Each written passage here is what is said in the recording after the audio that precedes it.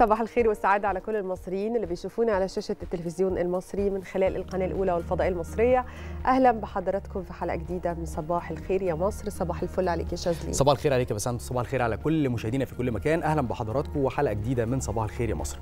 الحياة بالنسبة لكم باب مقفول على أنانيتكم. أما بالنسبة لي فهو باب مفتوح على الأمل باب مفتوح على المستقبل. دي طبعا من كلمات السيدة العظيمة سيدة الشاشة العربية فاتن حمامة اللي النهارده بنحتفل بمرور 92 سنة على آه، ميلادها. الحقيقة إن السيدة فاتن حمامة قدمت مجموعة كبيرة من الأفلام اللي كلنا متعلقين بيها. كل الفئات فئات المجتمع من خلال أفلامها اتعلقت بهذه السيدة وبأدائها في أفلامها لأنها لم تكن بطلة الفيلم فقط بل كانت البطلة المطلقة لروايات ال- الأدباء. إحنا طبعا عارفين إن هي مثلت للكثير من الأدباء يعني إحسان عبد القدوس آه، يوسف إدريس آه، عميد الأدب العربي طه حسين. فقدمت أفلام كتيرة جدا وكانت دايما بتعتبر إن الفن رسالة سامية. كانت دايما بتقدم ال- المشكلات كانت بتناقش المشكلات المجتمعية اللي كانت حاصلة في هذا التوقيت. كانت بتحاول إن هي تجد بالفعل حلول وده دور مهم جدا من أدوار الفن إن هو يسلط الضوء على بعض المشكلات المجتمعية. بهدف إنه يجد لها حلول. طبعا عارفين اللي حصل في فيلم أريد حلا سنة 75 لما سلطت الضوء على القضايا قضية من القضايا المهمة جدا اللي بتعاني منها السيدات. سيدة استحالة العشرة بينها وبين جوزها طلبت منه الطلاق لكنه رفض في النهاية. خلت الدولة تركز أكتر في قانون الأحوال الشخصية وتعدل وتعدل في هذا ال- القانون وتوجد حاجة اسمها الخلع إنه من حق السيدة إن هي تخلع زوجها في حال إن هو رفض الطلاق طبعا عندها مجموعة كبيرة جدا من ال- الأفلام اللي قدمتها وخليني أقول لحضراتكم إن هي دايما كانت بتعتمد على محاربة أو بتتجه دايما إلى محاربة الجهل محاربة الاستبداد محاربة الاستعمار. كانت بيقولوا إن هي كانت دايما سيده متمردة كده آه، في أفلامها. وزي ما ذكرت هذا الفيلم هناك العديد من المواقف اللي جمعتها آه، طبعا الكثير من الأدباء في أفلام كتيرة جدا. نذكر منها موقف واحد يمكن من أهم هذه ال- ال- المواقف سنة 85 جمعها هذا الموقف طبعا مع عميد الأدب العربي وهي يعني كانت مرشحة في هذا التوقيت لأداء فيلم أمنة في دعاء الكروان. طبعا الفيلم اللي كلنا بنحبه وبنعشقه وبنتفرج عليه دايما أول ما بنشوفه بيتعرض على شاشة التلفزيون. قال لها هتعرفي تجسدي شخصية أمنة؟ فهي سكتت شوية كده وقالت له هعرف أجسد هذه الشخصية. فهو يعني بص لها بصة فيها شيء من الايه السخرية. زي ما هي قالت. يعني ده ده اللي اتكتب بعد كده يعني. فهي طبعا خرجت من عنده وكانت حزينة جدا ومش فاهمة هو ليه عمل كده. لكن بعد العرض الأول لهذا الفيلم العرض الخاص وهم بيتفرجوا عليه بعد ما خرجت قال لها أنت قدرتي تعملي كل اللي جه في مخيلتي وأنا بكتب أمنة ده اللي أنت جسدتيه بالظبط. عشان كده زي ما بقول لحضراتكم لم تكن بطلة الأفلام فقط بل كانت بطلة الروايات اللي كتبها ال- الأدباء. ليها مجموعة كبيرة جدا من ال- الأفلام. سؤالنا بيقول إيه أكتر هذه الأفلام اللي أنت بتحب تشوفه للفنانة فاتن حمامة؟ وطبعا ونبدأ مع بسنت أنا ليا أفلام كتير قوي في الحقيقة بحبها قوي لأن أنا بحب أسلوبها في إزاي جسدت دور المرأة المصرية بكل رقي. حتى في أفلام لما طلعت فيها آم، يعني ب ب ب يعني بيسموها إيه وهي بتعمل الأرض. سيدة بسيطة يعني. سيدة بسيطة بتزرع بتعمل أي حاجة عملتها بكل رقي. عشان كده هي فعلا لقبت بسيدة الشاشة العربية. فعلا حقيقي هي فعلا ليدي زي ما بيقولوا. ليا أفلام كتير قوي بحبها. بحب سيدة القصر جدا. بحب أتفرج عليه قوي إمبراطورية ميم طبعا آه، يعني من أشهر أفلام السبعينات ال- اللي بيجسد دور المرأة المصرية اللي ليها أولاد كتيرة جدا وإزاي قدرت تتعامل معاهم. أريد حلا زي ما شاذلي كان بيقول برضو من الأفلام الجميلة جدا وأثرت في آه، ستات أو سيدات كتيرة جدا وفعلا غيرت في قانون الأحوال الشخصية. آه، حب في الظلام موعد مع السعادة. في أفلام كتيرة قوي لسيدة الشاشة العربية أنا بحب أتفرج عليها وأثرت فينا كلنا. ويمكن يعني ده مخلينا عندنا كده إيه زي ما بيقولوا طموح عالي في أي ممثلة جديدة طالعة. إحنا حابين إحنا اتربينا على هذا النوع من الفن الراقي فحابين نشوفه النهارده. حتى لما جت سيدة الشاشة العربية تمثل مسلسلات عملت مسلسلين فقط لا غير مع إن ليها عدد كبير قوي حاجة و90 فيلم تقريبا. لكن لما اختارت تعمل مسلسلات اختارت تعمل قضايا حقيقية ضمير ابله حكمه وجه القمر قضايا بتطرح للمجتمع وكانت من المسلسلات الناجحه جدا واللي عاشت في ذاكرة يعني المسلسلات والدراما المصرية. آه، خلينا بنتكلم على تسعة من أفلامها على قائمة أفضل 100 فيلم مصري. الأربعينات شهدت تألق كبير قوي لسيدة الشاشة العربية لكن لو هنتكلم عن الخمسينات فهي تقريبا ما فيش سنة فوتتها من غير ما تكون عاملة فيلم وفيلم ناجح ومحفور في ذاكرة السينما المصرية وذاكرة المشاهدين. عصر في الحقيقة عصور طويلة جدا من تطور السينما المصرية وشهدت عصور طويلة من تطور السينما المصرية وكانت حاضرة وبقوة في كل هذه السنوات. آه، بت- بتقدم لنا آه، العديد من الأفلام اللي اتحفرت مش بس في ذاكرتنا لكن غيرت شكل ونمط حياتنا اليومي. زي ما كان شاذلي بيتكلم عن فيلم زي أريد حلا ال- اللي فعلا أثر في أذهان العديد من السيدات المصريات. وزي ما كنت بتكلم مع حضراتكم وزي ما إحنا شايفين في الشاشة دلوقتي التمثيل إحنا حاسين إن هي فتاة طبيعية لكن كمان بكل رقي يعني في كل مشهد دلوقتي بيتعرض معانا في رقي حتى من غير ما نسمع الصوت في رقي في ال- الملابس في الأداء آه، في التعامل حتى مع الفنانين. زملائها. وكنا بنشوف يمكن الرقي في التعامل ما بين الزملاء وبعضهم لما بيطلعوا يتكلموا مع بعض في الانترفيوز اللي كانوا بيحضروها آه، آه، مع مع بعض وازاي بيتكلموا مع بعض وازاي كانوا بيساعدوا بعض.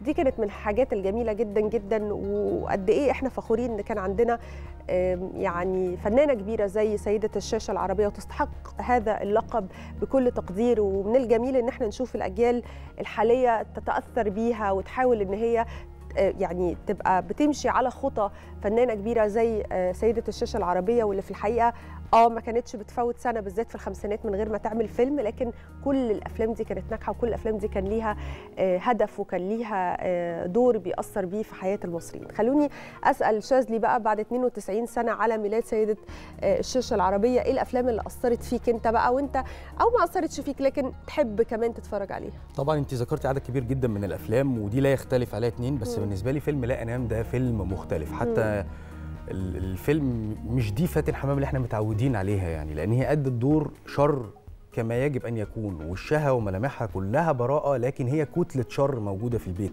إزاي بنوتة صغيرة عندها عقدة من ناحية والدها والدتها متوفية هو بيتجوز مريم فخر الدين مع حفظ الألقاب طبعا للجميع. والدها كان يحيى شاهين بيتجوز مريم فخر الدين هي بتغير على والدها قوي فبتختلق قصص وبتدعي إن هي سيدة على علاقة بأخوه في في هذا ال- الفيلم كانت بتدعي إن هو على علاقة باخوه فبيتخانق مع أخوه بيطرده من البيت.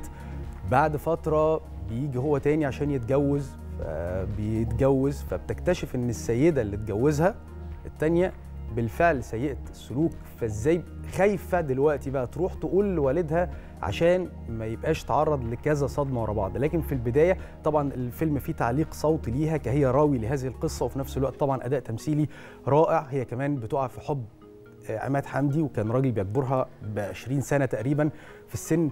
فأنت شايف حالة غريبة مش دي فاتن حمامة اللي أنت متعود. وعلى الرغم من هذا الفيلم في هذا التوقيت لما نزل لم يحقق النجاح الباهر. لكن دلوقتي لما تيجي تتفرج عليه أنت بتشوف فاتن حمامة في ثوب لم تلبسه من قبل في شكل مختلف. سيدة شريرة للغاية. الفيلم جمع مجموعة كبيرة جدا من ال- ال- النجوم في هذا التوقيت زي ما كنت بتكلم دلوقتي. يا بسنت هذه الكوكبة الكبيرة من النجوم في هذا التوقيت ما اتجمعتش في فيلم زي ما اتجمعت في هذا الفيلم. عشان كده بالنسبة لي الفيلم ده من الأفلام القريبة جدا لقلبي لأني شفتها في شكل مختلف أنت عارف كمان ال- الجميل قوي في, ال... في وأنت بتحكي دلوقتي إن هي كانت بتحكي القصة في الأول وهي بت...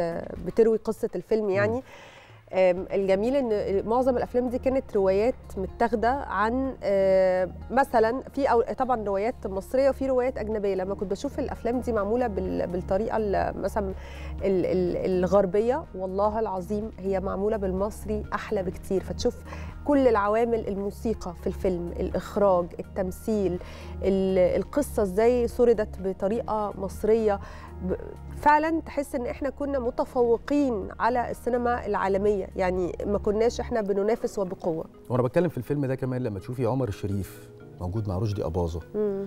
موجود مع يحيى شاهين موجود مع فاتن حمامة موجود مع مريم فخر الدين. لأ لأ ده فيلم فعلا يعني فيلم تقيل فعلا. ده فده من ضمن الأفلام ال- المحببة ليا جدا واللي بحب أتفرج عليه باستمرار. وزي ما كنت بتكلم في البداية إن الفن هو عبارة عن رسالة من دو- دور من أدوار الفن إنه يسلط الضوء. إحنا الفترة من الفترات افتقدنا هذا ال- الأمر. يعني لو رجعنا ب 10 15 سنة ورا كنا مفتقدين هذا الأمر إنه الفن اللي بيسلط الضوء على قضية من القضايا بهدف التغيير مش بهدف إبراز سلبيات المجتمع لا بهدف التغيير. ف... وإحنا دلوقتي بنتكلم عن أريد حلا. طبعا ده ذكرنا بتحت الوصايه اللي كان لسه السنة اللي فاتت المسلسل بتاع تحت ال- الوصايه لمنى زكي. وإزاي برضو هذا ال- المسلسل يعني حرك المياه الراكدة مرة تانية. بالقضايا المتعلقة بالوصايه وإزاي السيدات بيعانوا كتير جدا في حال وفاة الزوج لوصاية الجد اللي بيبتدي يتحكم في آه، أموال ال- الأحفاد. على كل ده سؤالنا الموجود على صفحتنا على السوشيال ميديا. إيه أكتر الأفلام اللي بتحب تشوفها للفنانة فاتن حمامة؟ في انتظار تعليقات حضراتكم وإجاباتكم على سؤالنا هنستعرضها إن شاء الله خلال الحلقة. بنصبح على حضراتكم مرة تانية. أهلا بيكم وحلقة جديدة من صباح الخير يا مصر. خلونا دلوقتي نروح نصبح على زميلتنا هالة الحملاوي نعرف منها أكتر الأفلام اللي يمكن بتحبها لسيده الشاشة العربية الفنانة فاتن حمامة ونعرف منها كمان أخبار الطقس في القاهرة والمحافظات. صباح الخير عليك يا هالة. صباح الخير يا فسنت صباح الخير يا هلا. صباح الخير عليكم وعلى كل اللي بيشوفونا. تحبي إيه أفلام لفاتن حمامة؟ هي ليها أعمال كتير عظيمة طبعا بس أنا ليا فيلمين تحديدا بحبهم قوي. فيلم موعد غرام اللي كان مع آه، عبد الحليم حافظ إنتاج الخمسينات اللي هي كانت هي فيه صحفية وهو المفروض طالع فيه شاب مستهتر بقى وكده يعني في ال- في الوقت إزاي يعني بقى هو كان الفيلم آه؟ عبد الله كان الشباب المستهترين في الخمسينات والستينات ليهم موديل مختلف آه. كده غير اللي أنا أعرفه وفيلم إمبراطورية ميم برضو بعتبره طبعاً. من الأفلام العظيمة ليها وكنت بحسه كده فيلم استباقي يعني فاكرين اللقطة اللي بتقول فيها لاولادها فا- فاضل أجيب لكل واحد فيكم تليفون لوحده أيوة. يعني حسيت إنه آه، يجوا يشوفوا دلوقتي كل واحد معاه موبايل الأطفال الصغيرة اللي عندهم ثلاث سنين واربع سنين. فلا الأفلام دي طبعا كانت بتعالج مشاكل اجتماعية مهمة جدا وبعتبرها من من أفضل الأفلام بالنسبة لي. حقيقي. اتفضلي يا هاله على العموم خلونا نستعرض مع حضراتكم دلوقتي جولة سريعة عن أحوال الطقس. النهاردة في ارتفاع في درجات الحرارة. الطقس هيكون شديد. الحرارة على القاهرة الكبرى والوجه البحري والسواحل الشمالية. في نشاط للرياح على السواحل الغربية والصحراء الغربية هتكون مثيرة للرمال والأتربة. توقعات بفرص ضعيفة للأمطار على السواحل الشمالية الغربية وشمال الوجه البحري. درجة الحرارة في القاهرة النهاردة 36 أعلى درجة حرارة هتكون في أبو سمبل وهي 43 أقل درجة حرارة في مطروح 26 درجة. طبعا هنتابع مع حضراتكم الطقس بالتفصيل بس بعد شوية. هنبدأ مع حضراتكم حلقتنا النهارده بأهم الأخبار والأحداث اللي حصلت امبارح واللي من أبرزها تسليط الضوء من قبل مجلس الوزراء على جهود الدولة لتحقيق الاكتفاء الذاتي من القمح. بالإضافة أيضا إلى آه، الحصاد الأسبوعي للحكومة اللي نشرته طبعا في إنفوجراف. معانا كمان الحكومة نفت تقليص المخصصات المالية لقطاع الصحة بالموازنة الجديدة.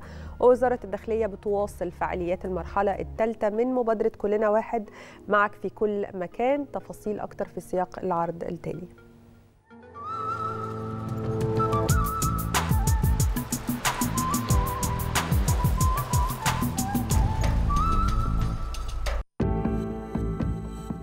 أخبار وأحداث كتيرة حصلت امبارح. أبرزها أن مركز المعلومات ودعم اتخاذ القرار بمجلس الوزراء نشر مجموعة من الانفوجرافات على صفحته بموقع التواصل الاجتماعي فيسبوك. وسلط الضوء على الجهود اللي شهدتها السنين اللي فاتت من أجل تحقيق الأمن الغذائي من مختلف المحاصيل الاستراتيجية خاصة القمح. وهو الأمر اللي ساعد على تجاوز التداعيات السلبية للأزمة الأوكرانية الروسية بالنسبة لسلاسل التوريد العالمية من القمح.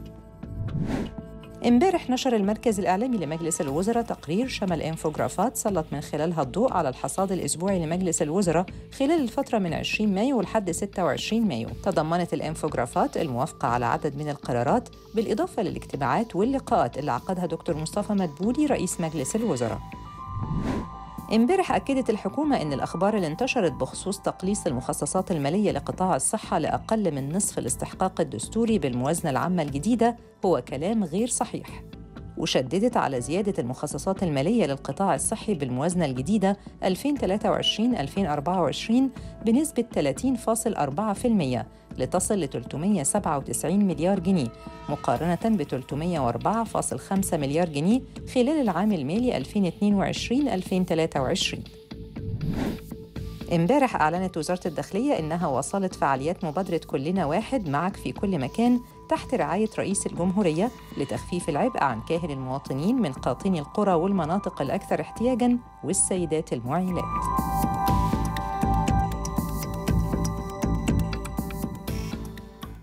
ومعنا أخبار المحافظات وخلونا نبتدي بمحافظة المنوفية واللي اعلنت بدء توزيع الأسمدة الصيفية في كل أنحاء المحافظة وكمان إطلاق مبادره مبادرة لتجميل الشوارع وتوفير الخدمات الصحية وسط سيناء. كمان في المحافظات تم محو أمية 32099 شخص خلال العام الحالي في محافظة أسيوط وأيضا تم الكشف وتوفير العلاج ل 1602 مواطن في قافلة مجانية بمحافظة بني سويف وأخبار أخرى هنعرفها في التقرير اللي جاي.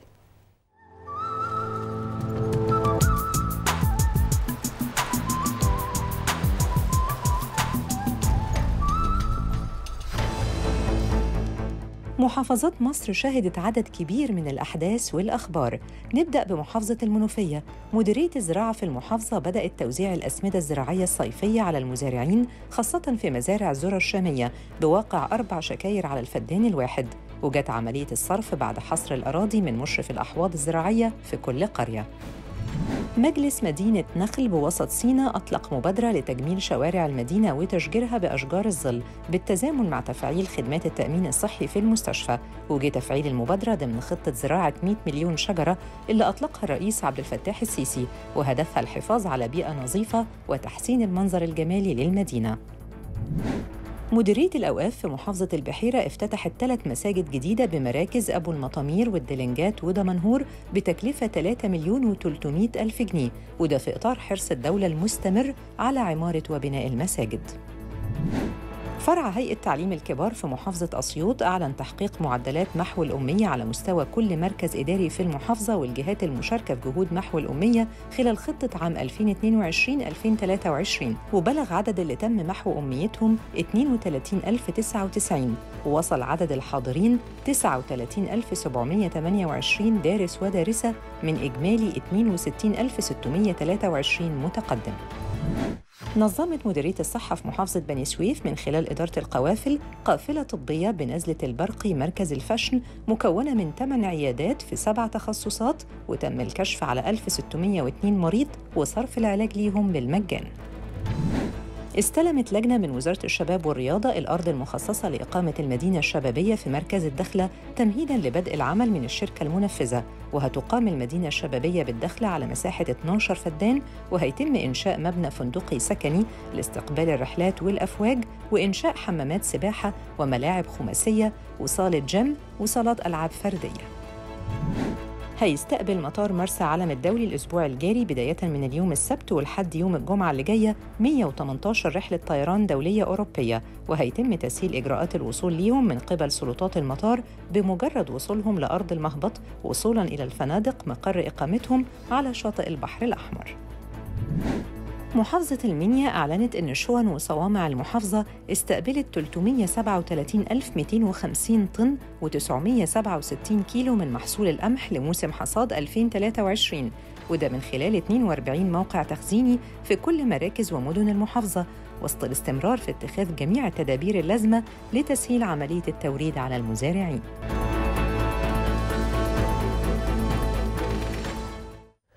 إيه أكتر الافلام اللي بتحبها لسيدة الشاشة العربية فاتن حمامة في ذكرى عيد ميلادها؟ ده سؤالنا اللي سألناه لحضراتكم على صفحتنا على فيسبوك. خلونا نستعرض بعض من إجاباتكم ونبتدي بأستاذ زكازيكو زكي اللي بيقول أحسن أفلام الفنانة الجميله الله يرحمها فيلم صراع في الوادي أو صراع الوادي من وجهة نظري بس هو ده الدلع بتاعه يعني. الأستاذ زكازيكو زكي.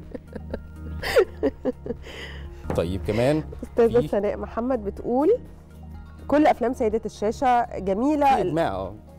إمبراطورية ميم سيدة القصر صراع في الوادي ربنا يرحمها يا رب. دعاء الكروان عفيفي عبد اللطيف. أنت لسه بصراحه وفي أفواه وأرانب كمان ناس كتيرة قوي مجمعة عليه كل أفلامها يحت... نموذج يحتذى لمن أراد حسن الأداء. دعاء حلوة الكلمة دي حسن الأداء. دعاء الكروان مثلا. ده طبعا ده الأستاذ جمال مختار. أما الأستاذ أحمد دغيدي فبيقول صباح الخير عليكم على مصر وشعب مصر العظيم. تحياتي ليكم من المنصورة صباح الفل. يا أستاذ أحمد أفضل الأفلام المحببة الي هو صراع في الوادي وأفواه وأرانب. في في سؤال بقى أنا ماليش فيلم آه، في في إجابة بتقول إيه من أستاذ حمو رئيس حارس بيقول أنا ماليش فيلم محدد متابعها آه، لل- للفنانة فاتن حمامة بس ده ما يخلينيش إن يكون ليا رأي للفنانة العظيمة وبلقبها بجميلة الجمالات في الشاشة العربية. صباح الخير وعلى كل أهل مصر. هو من النوبة. صباح الفل عليك. لكن خليني أقول لك على حاجة. يعني ليه ما إيه المشكلة؟ يكون ليك رأي وتقول فيلم معين مثلا عجبك طبعا إيه ممكن. بس؟ انت أنت وصفتي وصف حلو قوي في البداية لما قلت إن هي كان أداها بيتميز بالرقي. مم. في أي دور بتقدمه هي راقية. بتقدم صوت هي صورة الشخص. فلاحة زي ما كانت. بس أنت بتقول هي راقية. بتقدم سيدة هاي كلا- هي راقية يعني. ففي كل الأدوار اللي قدمتها كانت في فعلا رقي حتى في الكلام وهو خارج من بقها كده لا في رقي. وده فعلا معلش خليني أقول لك على حاجة ده بجد غير من آه، يعني تجسيد دور السيدة المصرية في الأفلام صحيح. يعني خلى بعد كده أي حد بقى بيقدم الأدوار بيحاول على قد ما يقدر يقدمها برقي تام وشفت لها كمان انترفيوز وهي بتتكلم بلغات مختلفة اللغة آه. الفرنسية بطلاقة بت... شديدة كانت بتتكلم بتتكلمها عن بدايتها كمان لما والدها حط صورتها على غلاف مجلة كده كان في مسابقة وعايزين صور أطفال تضحك. كان زمان بقى في مسابقات اللي بتنزل على المجلات دي مم. فوالدها صورها عندها ست سنين أو ثمان سنين تقريبا وحط صورتها على غلاف المجلة. ومن هنا بدأ طريقها للنجومية وللفن وكانت بتقعد تمثل في الأوضة وهي قاعدة لوحدها كده كانت بتقعد تمثل مع نفسها وعندها أربع سنين ست سنين. باباها كان ليه دور كبير قوي في حياتها. بعد ما مثلت أول فيلم ليها آه، الأطفال معاها في المدرسة كانوا بيتريقوا عليها. آه. فرجعت لباباها وقالت له أنا خلاص مش عايزة أمثل. هي بتحكي القصة دي كلها بالفرنساوي. مم. قالت له أنا مش عايزة أمثل عشان صحابي بيتريقوا عليا. قال لها اعملي اللي أنت عايزاه واللي أنت حباه بس ما تخليش كلام الناس يوقفك. قد إيه هو كان عنده طبعاً. آه يعني طبعا. لطيف قوي طبعا. آه نهر الحب والحرام واريد حلا. ده حمدي مصطفى. عزيزة المقدم بتقول دعاء الكروان أفواه وأرانب الباب المفتوح. كل دي أفلام بحبها لسيدة الشاشة. آه، إبراهيم حارس بيقول الصراحة ماليش فيلم محدد ده اللي انت قلتيه تقريبا. طيب آه، في محمد أبو روكا كل أفلامه أفلامها حلوة خصوصا أفواه وأرانب وإنه بيحس على زاوية تانية خالص وهي تنظيم ال- ال- الأسرة وإننا نخلف عدد صغير عشان نعرف نربيهم كويس. حقيقي. آه أستاذ محمد حسني محمود نهر الحب. سيدة القصر. ده أستاذ سعيد جودة. أحلى الأفلام. مم. من أحلى الأفلام فعلا يعني. وعلى فكرة يعني بتجسد كمان قصة يمكن سيدات كتيرة بتعيشها دلوقتي لما يبقى في يعني الصحبه سيئة مثلا لدى الزوج والزوج طيب فبي بي يعني بينساق ليهم بتبقى حاجة وحشة يعني. دعاء الكروان آه، أستاذ عبير محمد أفلام كتيرة جدا. الفيلم روعة لا انام أستاذ عبد الله مقلد. شفتي ناس بتتفق معايا في الفيلم. صباح الخير عليكم من كل من الإسماعيلية. آه، أجمل الأفلام اللي بحبها افواه وارانب وكله حكم وحقيقة آه، تعليمه فين الزم آه فين الزمن بيسأل يعني فين الزمن المحترم بتاع زمان. دينا الشرف زميلتنا بتقول من عشاق فيلم نهر الحب سيدة القصر أفواه وأرانب. بصراحة كل أفلامها حلوة وراقية وهادفة. صحيح. حقا إنها سيدة الشاشة العربية. الباب المفتوح. والحرام ودعاء الكروان وأفواه وأرانب. دي مين؟ عزيزة المقدم. على كل حال دي كانت بعض من إجابات حضراتكم على سؤال حلقتنا النهاردة. لسه مكملين في استعراض إجاباتكم فكملوا وقولوا لنا إيه الأفلام اللي أنتم بتحبوا تشوفوها لسيدة الشاشة لغاية النهاردة. يمكن أول أفلام كمان اللي أثرت فيكم. دلوقتي نروح لفاصل ونرجع من بعده نكمل بقية فقراتنا.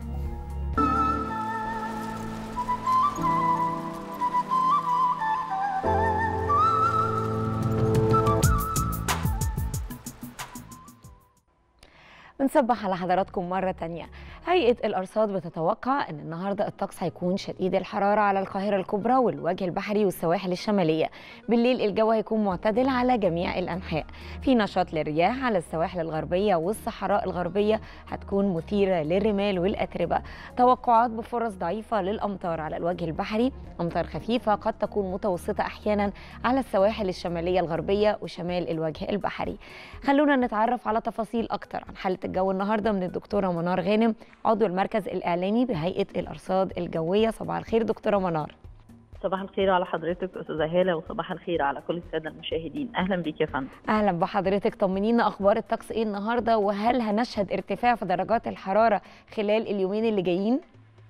هو إحنا طبعا اليوم هيكون في مزيد من الارتفاع في درجات الحرارة لأن النهارده هيكون ذروة ارتفاع في درجات الحرارة. مم. العظمى على القاهرة الكبرى هتكون 36 درجة مئوية خلال فترة النهار بارتفاع من درجتين لثلاث درجات عن الأمس.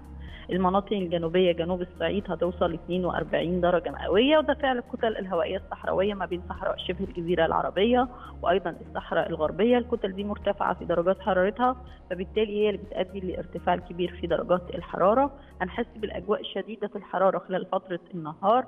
على القاهرة الكبرى والوجه البحري ومحافظات شمال وجنوب الصعيد. أجواء حارة على السواحل الشمالية للبلاد. المحافظات المطلة على البحر المتوسط خلال فترة النهار. خلال فترات الليل مع غياب أشعة الشمس بيحصل طبعا انخفاض في درجات الحرارة. بيكون ملحوظ أكتر ساعات الليل المتأخر فترة الصباح الباكر. لكن هي الأجواء هتكون معتدلة على أغلب الأنحاء خلال فترات الليل. يعني ما فيش انخفاض كبير في درجات الحرارة أو بروده فترة الليل. أجواء معتدلة ولطيفة جدا خلال فترات الليل في أغلب الأنحاء. كمان اليوم متوقع أن يكون في نشاط لرياح سرعته ما بين 30 إلى 40 كيلو متر على الساعة نشاط الرياح ده هيكون موجود في السواحل الشمالية الغربية للبلاد وشمال وجنوب الصعيد وقد يكون مثير للرمال والأتربة في بعض الأماكن من سواحلنا الشمالية الشرقية مدن القناة سيناء محافظة البحر الأحمر والأماكن المكشوفة في القاهرة الكبرى ومحافظات الوجه البحري. كمان اليوم فرص الأمطار موجودة معانا بشكل كبير على المناطق الساحلية وهي تكون أمطار خفيفة إلى متوسطة على السواحل الشمالية الغربية للبلاد ومحافظات شمال الوجه البحري خفيفة إلى متوسطة ورعدية أحيانا على وسط وجنوب الصعيد آه، سلاسل جبال البحر الأحمر سيناء فرص الأمطار موجودة بشكل كبير فمهم جدا ناخد بالنا وهتكون كمان أمطار رعديه في المناطق الجنوبية. مع غدا إن شاء الله درجات الحرارة ثاني تعود للمعدلات وتنخفض وتكون ما بين 32 ل 33 درجة مئوية وده اللي هيكمل معانا لنهايه هذا الأسبوع اللي هي متوسط درجات حرارة ما بين 2 ل 33 درجة مئوية. لكن فرص الأمطار غدا ممكن تتقدم لبعض المناطق الداخلية فإحنا مهم جدا هننصح كل الساده المواطنين مرضى الحساسية الصدرية والجيوب الأنفية. لو إحنا هنخ- نخرج النهارده يفضل وإحنا خارجين نرتدي الكمامات بسبب الأتربة والرمال المثاره اللي هتكون موجودة في الجو. آه، طبعا نتجنب التعرض المباشر لأشعة الشمس فترة الظهيرة لأن إحنا النهارده بنقول في ذروة ارتفاع في درجات الحرارة.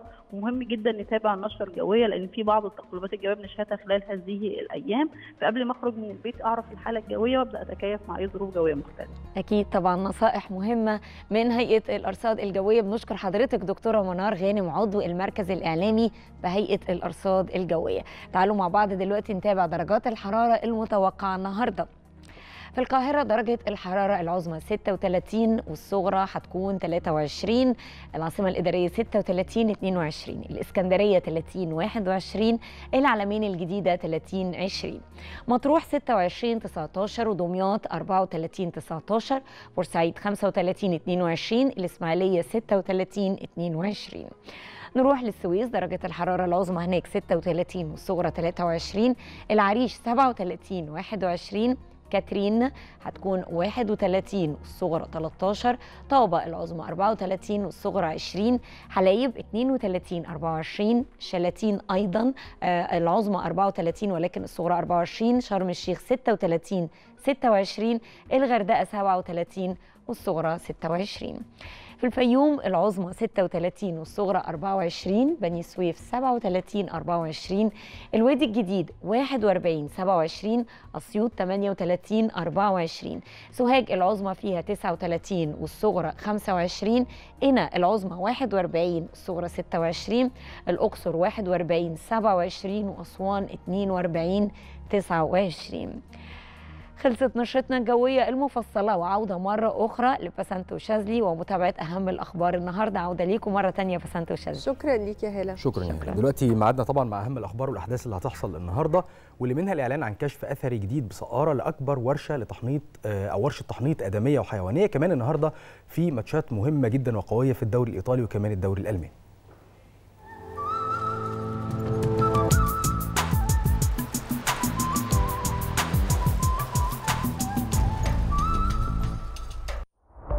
بخصوص الأخبار اللي هتحصل النهاردة فالنهاردة هتعلن البعثة المصرية العاملة بسقارة بقيادة الدكتور مصطفى وزيري الأمين العام للمجلس الأعلى للآثار عن تفاصيل الكشف الأثري الجديد بالمنطقة وهو عبارة عن اكتشاف أكبر ورشة تحنيط آدمية وحيوانية بمنطقة آثار سقارة. النهارده كمان هتعلن مدارس محافظة الجيزة نتائج الفصل الدراسي الثاني للعام الدراسي 2022-2023 الدور الأول لطلاب الصفين الرابع الابتدائي والأول الإعدادي وده بلوحة الإعلانات داخل المدارس وبدون تحصيل أي مبالغ مالية تحت أي مسمى. النهارده العشاق الدوري الألماني هيكون ميعادهم مع تسع مباريات قوية في إطار الجولة 34 والأخيرة من المسابقة وهتتلعب كل المباريات في توقيت واحد الساعة 4:30 العصر. من أهمها مباراة بروسيا دورتموند مع ماينتس وبايرن ميونخ مع كولن ولايبزيج مع شالكا. النهارده العشاق الكرة الإيطالية هيكون ميعادهم مع أربع مباريات قوية في إطار الجولة 37 من عمر المسابقة. فريق ساليرنتانا هيواجه أودينزي الساعة 4 العصر وفي نفس التوقيت سبيزيا هيواجه تورينو والساعة 7 بالليل فيورنتينا هيواجه روما والساعة 10 بالليل هيلتقي أنتر ميلان مع أتلانتا. في إطار طبعا متابعتنا المستمرة لجلسات الحوار الوطني طبعا ناقشت هذه الجلسات ملف مهم جدا وهو التعليم ما قبل الجامعي وإعادة هيكلة وتعديل القوانين والقرارات المنظمة للتعليم. عشان كده دلوقتي معانا آه، لقاء مع الدكتور جمال شيحة مقرر لجنة التعليم بالحوار الوطني. أجرى هذا اللقاء زميلنا رجاء رمزي.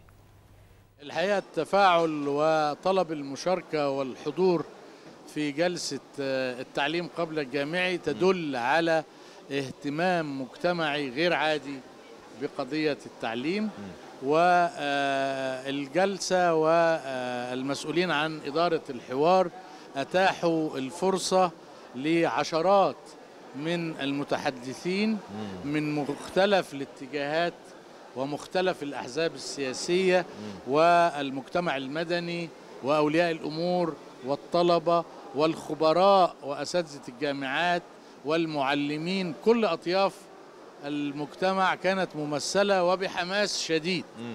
والحمد لله قدرنا إن إحنا نعطي الكلمة للجميع ليعبروا عن رأيهم. وأنا بشكر كل المتحدثين أن التزموا بالوقت المحدد. صعب إن أنت تعرض أفكارك في أربع دقائق فقط.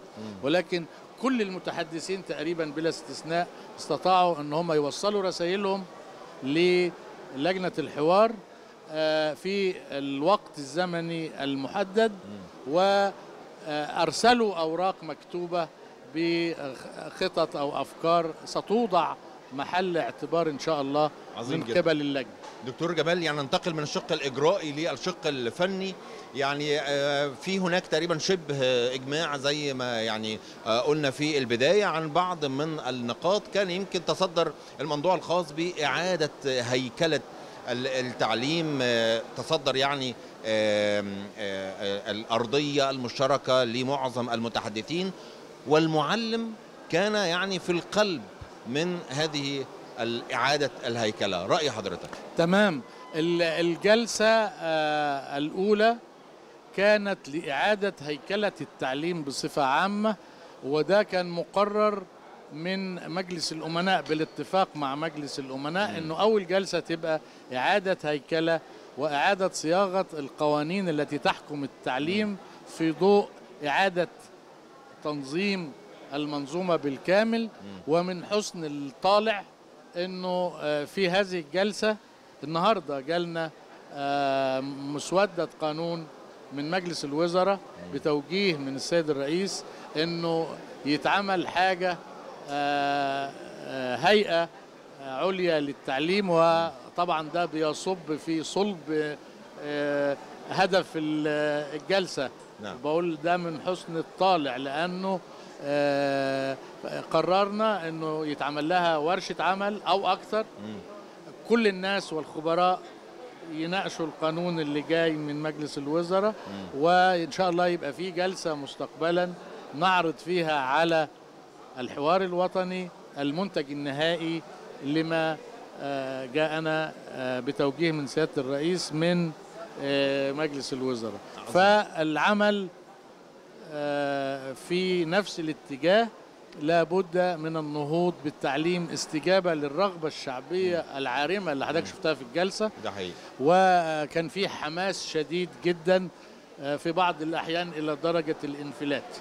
هو مش هنقول إنفلات يا دكتور هنقول مثلا ولا اختلاف هو يعني خلاف وجهات ده شيء طبيعي في أي عمل الوطن قضيه اطلاقا وده شيء طبيعي في أي عمل عام. أن توجد وجهات نظر آه، مختلفة. وممكن تكون آه، حادة. و آه، ونتقبلها ده شيء مطلوب نعم. لأنه آه، الشباب لازم يكون متحمس وعلى الأجيال الأكبر أن تستوعب. أن تستوعب آه. هذا الشباب آه، كان في مستشار في النمسا اسمه برونو كرايسكي مم. له كلمة مشهورة جدا إذا كنت في العشرين ولم تكن ثوريا ومتطرفا فكريا فأنت غير طبيعي متطرفا ايجابيا طبعا يا دكتور آه طبعا التطرف ال- اللي هو إيه آه. المثالية العظمى يعني نعم وإذا وصلت إلى الأربعين ولم تفهم أنك كنت متطرفا عندك غير طبيعي. آه. طيب يا دكتور آه، يعني حضرتك آه، قيمة وقامة في الطب آه، وحضرتك يعني آه، آه، نلت من أحد الجهات الدولية المتخصصة في علاج الأمراض الكت- الكبد وفيروس آه، سي The Champions of آه، Virus C Elimination آه، بطل آه، القضاء على فيروس على آه، الفيروسات سي. الكبدية. آه، سؤالي هنا بحضرتك يعني بصفة حضرتك متخصص وحضرتك علامة. مخرجات التعليم شايفها ممكن هنطلع ممكن أكتر من دكتور جمال شيحة؟ آه، قطعا. قطعا. نحن منتج لمنظومة تعليمية آه، سابقا. ومصر قادرة ولديها الإمكانيات ومستواها الآن برغم إن إحنا مش راضيين عنه مستواها الآن يمكن أن يتطور في سنوات قليلة وليست بعيدة إلى مستوى أعظم الدول في التعليم والبحث العلمي ما الذي طرأ على التعليم في مصر؟ آه، التعليم في مصر لأسباب تاريخية وسياسية حدث فيه ترهل هيكلي مم. أدى إلى ضعف المنتج مم. ولذلك بمعنى إيه ترهل هيكلي؟ بمعنى كثرة القوانين مم. وعدم وجود آه، منظومة عليا تنظم التعليم فأصبحت السياسات تتغير بتغير المسؤولين مم. فأصبح خطوة للأمام وخطوتين للخلف مم. خطوة للأمام وخطوتين للخلف الآن بإعادة الهيكلة يمكن أن تضع منظومة وسياسات مستدامة لا تتغير بتغير المسؤولين تجعل التقدم دائما إلى الأمام ومصر تستطيع. أبرز التوصيات اللي حضرتك يعني تقريبا خرجت بيها من هذه الجلسة. آه، أولا أننا يجب أن نستجيب للضغط المجتمعي لتطوير التعليم. مم. هذه أولا. يعني بصفته مشروع ما المشروع الناس الناس كلها بتضغط في هذا الاتجاه. آه. الخطوة الثانية إن إحنا نعمل منظومة واستراتيجية تكون لها صفة الاستدامة يقوم على تنفيذها مسؤولين وأن توجد جهات للحوكمة والمتابعة لكي نضمن أن هذه السياسات لا تتغير بتغير المسؤولين. عندها أضمن لك أن مصر بعد سبع أو عشر سنوات ستكون في مصاف الدول العظمى في التعليم. دلوقتي طبعا هنروح لقصة تحدي بدأها بطل كرة الساق الواحده عبد الله مصطفى مسمينه شيكابالا آه، فريق كرة القدم بساق واحدة لأنه طبعا الناس كلها وأنتوا كمان لما هتشوفوا فيديوهاته الموجودة على السوشيال ميديا لا لعيب مهاجم من طراز رفيع يعني لعيب محترف جدا جمال وحرفنة. عبد الله مصطفى بالمناسبة آه، ليه قصة كبيرة جدا. اتعرض لحادث وهو طفل صغير عنده 10 سنين لكنه كان بيعشق الكورة. طبعا قصة مهمة جدا صنعت منه بطل رياضي في منتخب كرة القدم لأصحاب الساق الواحدة بس هو زي ما أنت قلت أحسن لاعب وهداف الدوري. آه يعني عبد الله دلوقتي بقى هداف أول نسخة لفريق نادي الزمالك وأحسن لاعب في الدوري. تفاصيل أكتر عن رحلته ورحلة التحدي والنجومية دي هنعرفها منه دلوقتي هو موجود معانا على التليفون. صباح الفل عليك. صباح الخير. وبشكركم جدا على المقدمة الجميلة إحنا دي بنقول حقيقة. إحنا ما بنقولش حاجة من عندنا فعلا. انت هداف ونجم و... و... وكلنا بنتشرف بيك يا عبد الله. ألف مبروك يعني. خليني أقول في حضرتك. عرفني من الأول بقى بداية الرحلة كده من الأول إصرارك على إثبات موهبتك وإنك تبتدي في التحدي ده و... من الأول كده كان عندك عشر سنين. احكي لي القصة دي بدأت إزاي؟ والله أنا كنت آه، طبعا بلعب كورة قبل الحادثة كان عندي 10 سنين. وعملت حادثة و... وقعدت سنة في البيت كده من أنا ما ألعبش لحد ما نزلت بقيت ألعب مع أصحابي آه، من غير آه، أي حاجة. بلعب مع أصحابي السلام من غير هدف. بلعب كده عشان بحب كرة القدم. لحد ما جيت كان عندي 17 سنة. فيديو كان كابتن محمود عبده رفعه. كان الفيديو ده بين تركيا وإنجلترا. لكرة القدم الساق الواحدة. أنا طبعا أول لما شفت الفيديو على الفيسبوك آه، فرحت جدا وإن في لعبة لينا كده. فهو كان عامل دعوة عشان الشباب تشارك. لحد ما رحت شاركت معاهم آه، كنا بادئين بتسع لعيبة. آه، واشتغلنا على الموضوع إن إحنا يكون لينا منتخب ويكون في دوري عشان نشارك في البطولات ال- الدولية. لحد لسه من حوالي كام شهر عملنا أول دوري في مصر. من آه، أربع فرق. كان الزمالك بيراميدز آه، زد والمقاولين العرب.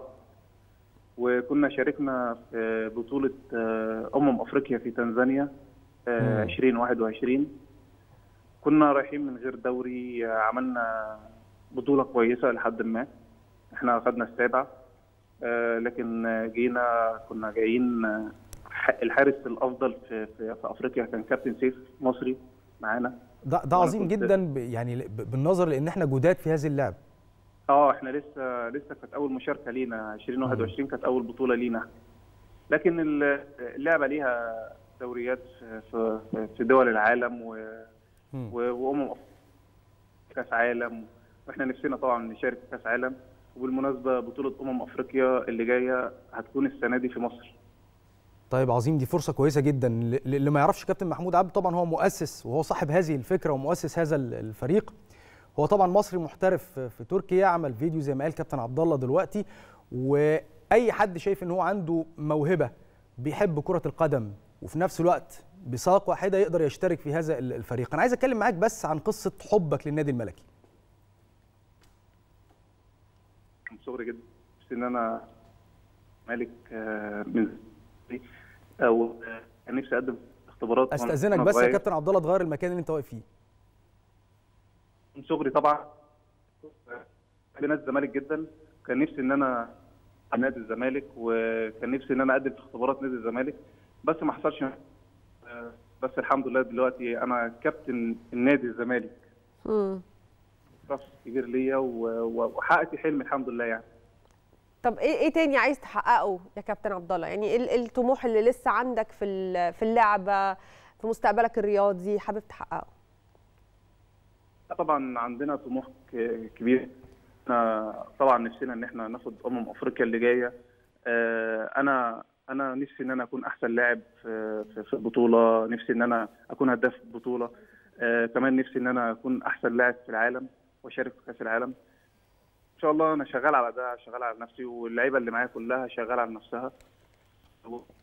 عندنا لعيبة كبيرة جامدة جدا. طبعا في مصطفى محمود ده لا احكي لنا أكتر بقى عبد الله عن مستوى اللعب عندنا. يعني أنت بتقول عندنا لعيبة عندنا لعيبة ولعيبة محترفة كتير. احكي لنا عن مستوى اللعب عندنا عامل إزاي. لا هي لسه في البداية طبعا. إحنا دوري واحد بس هو كان من أربع فرق. ده اللي إحنا محتاجينه الفترة الجايه إن يبقى بدل الأربعة 10 أندية أو 15 لأن إحنا عندنا لعيبة ده يا عبد الله استاذنك بس تغير المكان لأن صوتك مش واضح. سامعني؟ يا عبد الله؟ حضرتك سامعني كده؟ آه اتفضل. إحنا طبعا عندنا لعيبة مش متسجلة في نادي فإحنا محتاجين طبعا أندية. إحنا أه- أربع دلوقتي محتاجين 10 و15 نادي لأن عايزين نسجل اللعيبة دي. امم آه، نطلع برضو آه، لعيبة للمنتخب قوية. فنش- إحنا شايفين وإن إحنا هنشارك في أمم أفريقيا ونعمل حاجة بإذن الله في البطولة. و... آه، وعندنا لعيبة كبيرة جدا يعني. وعندنا عدد اللعيبة قد إيه؟ تقريبا. دلوقتي 160 لاعب. عندنا 160 لاعب بس مشكلتنا الوحيدة إن مفيش أندية. بالظبط أنت آه، حوالي 45 لاعب اللي متسجلين في النادي بس. اللي إحنا عملنا لهم ال- آه، عظيم. عندنا كتير جدا. إحنا طبعا بنشكرك. شكرا جزيلا ال- الكابتن عبد الله مصطفى. بنتمنى لك طبعا كل التوفيق. هداف دوري أصحاب الساق الواحدة. شكرا جزيلا ليك. طيب خلينا نرجع مرة تانية لمتابعتنا لفعاليات الحوار الوطني. من ضمن الخبراء والنواب اللي طرحوا أفكار في ملف التعليم خلال جلسات الحوار الوطني هي الدكتورة جيهان البيومي عضو لجنة تعليم مجلس النواب. تعالوا نشوف لقاء مهم جدا حول أهم المناقشات حول تطوير التعليم. يمكن من أهم النقاط اللي فعلا اتكلمنا فيها النهارده قضية المعلم.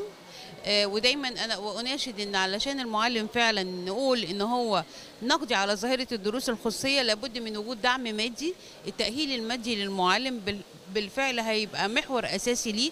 زي ما بقى طالبه بأن هو يعمل تأهيل علمي وتأهيل تقني ويستخدم وسائل تكنولوجية حديثة ويتدرب وعشان يوصل المعلومة لابد برضو من النظرة للمعلم نظرة ثاقبة بأن أنا فعلا أوفر له حياة كريمة تخليه نفسيا مؤهل إن هو فعلا يتعامل مع الطلبة ويدخل المدرسة بحب وهو بدل ما بيبقى عطاؤه داخل الدرس الخصوصي لا أنا عايزة عطاء المدرس داخل الفصل الدراسي. لما تدعمه ماديا. الاحتياج المادي للمدرسين وانه إحساسه إن هو عدم قدرته على الوفاء بالتزاماته ده اللي بيجعله يستبعد أو يبعد شوية على المدرسة لأن خلينا واقعيين يعني أنا محتاجة محتاجين فلوس محتاجة مادة عشان احتياجاتي الأسرية. طب أنا هلجأ إلى كده إزاي؟ إلا عن طريق وسيلة أخرى اللي هي وسيلة الدروس الخصوصيه فلا بد من الدعم المادي زي ما أنا بطالب برضو المدرس بعد ما اوفر له حياة كريمة. إن يبقى في عندي التأهيل العلمي للمدرس لل- للمدرس. وده بالفعل إحنا بنشكر جهود الدولة أو الفكرة المطروحة لوجود الأكاديمية الوطنية للمعلمين أو اللي هي تختص بالتعليم والنظرة الشاملة ليه. يعني فكرة فعلا ثاقبه ودي رؤية فخامة الرئيس اللي إحنا برضو نوجه له كل التحية والتقدير على هذا الجهد المبذول. الثامنة صباحا بتوقيت القاهرة الخامسة بتوقيت جرينتش موجز الأخبار من التلفزيون المصري. أهلا بكم.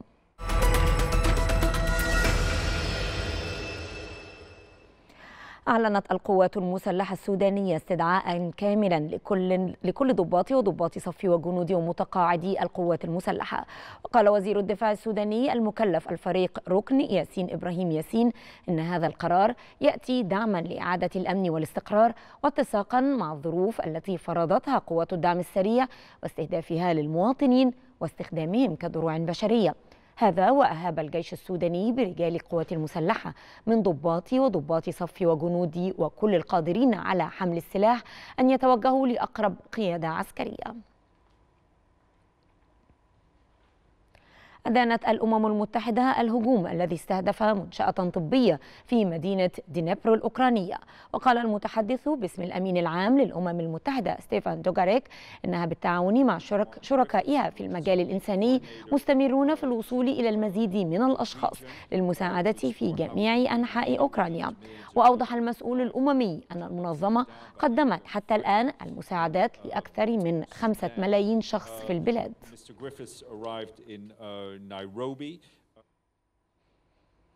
نددت بريطانيا وفرنسا وإيطاليا وألمانيا والولايات المتحدة بأعمال عنف وقعت في كوسوفو بعدما اشتبك محتجون مع الشرطة في بلدة يمثل الصرب الأغلبية فيها ودعت الدول الخمس في بيان مشترك السلطات في كوسوفو إلى تهدئة الأوضاع كانت الشرطة أطلقت الغاز المسيل للدموع في بلدة فيتشان لفض حشد خارج أحد مباني البلدية. وحاول المحتجون منع حاكم من أصل ألباني منتخب حديثا من دخول مكتبه عقب انتخابات قاطعها الصرب المقيمون في كوسوفو. مما دفع الرئيس الصربي ألكسندر فوتشيتش إلى وضع جيش البلاد في حالة تأهب قصوى وأمر وحداته بالتحرك إلى أماكن قريبة من الحدود مع كوسوفو. قال الرئيس الأمريكي جو بايدن إنه يأمل في التوصل إلى حل لأزمة سقف الدين الأمريكي بين الديمقراطيين والجمهوريين في غضون ساعات معربا عن تفاؤله إزاء المفاوضات الجارية بدورها مددت وزيرة الخزانة الأمريكية جانيت يالن الموعد النهائي لرفع سقف الاقتراض الحكومة الاتحادية وقالت إن الحكومة قد تتخلف عن سداد التزاماتها بحلول الخامس من يونيو ما لم يتم الاتفاق على رفع سقف الدين البالغ 31.4 تريليون دولار. وكانت وزيرة الخزانة الأمريكية توقعت في وقت سابق أن تتخلف الحكومة عن السداد في أول يونيو. fall would threaten the gains. قالت اللجنة الموريتانية المستقلة للانتخابات إن أكثر من 412 ألف ناخب يتوجهون اليوم إلى مكاتب الاقتراع في الجولة الثانية من الانتخابات البرلمانية. وكان مليون وتسعمائة ألف شخص قد صوتوا في الجولة الأولى في الثالث عشر من مايو الجاري في انتخابات هيمن عليها الحزب الحاكم الذي فاز بثمانين مقعدا برلمانيا. فيما فازت المعارضة بأربعة وعشرين مقعدا. وحصلت الأحزاب الداعمة للرئيس الرئيس محمد ولد الشيخ الغزواني على 36 مقعدا. ورياضيا عزز النادي الأهلي صدارته للجدول الدوري الممتاز لكرة القدم بفوزه على مضيفه فريق طلائع الجيش بهدفين دون رد في المباراة التي جمعتهما على استاد الكلية الحربية بالقاهرة والمؤجلة من الجولة الثانية والعشرين للمسابقة.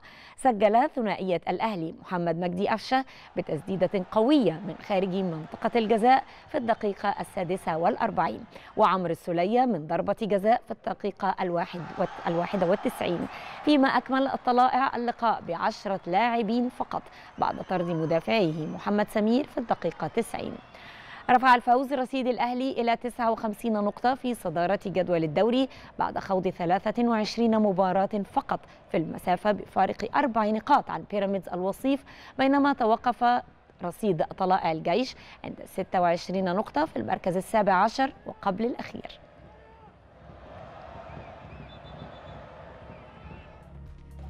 انتهى موجز الثامنة وعودة لاستكمال باقي فقرات برنامج صباح الخير يا مصر بعد الفاصل.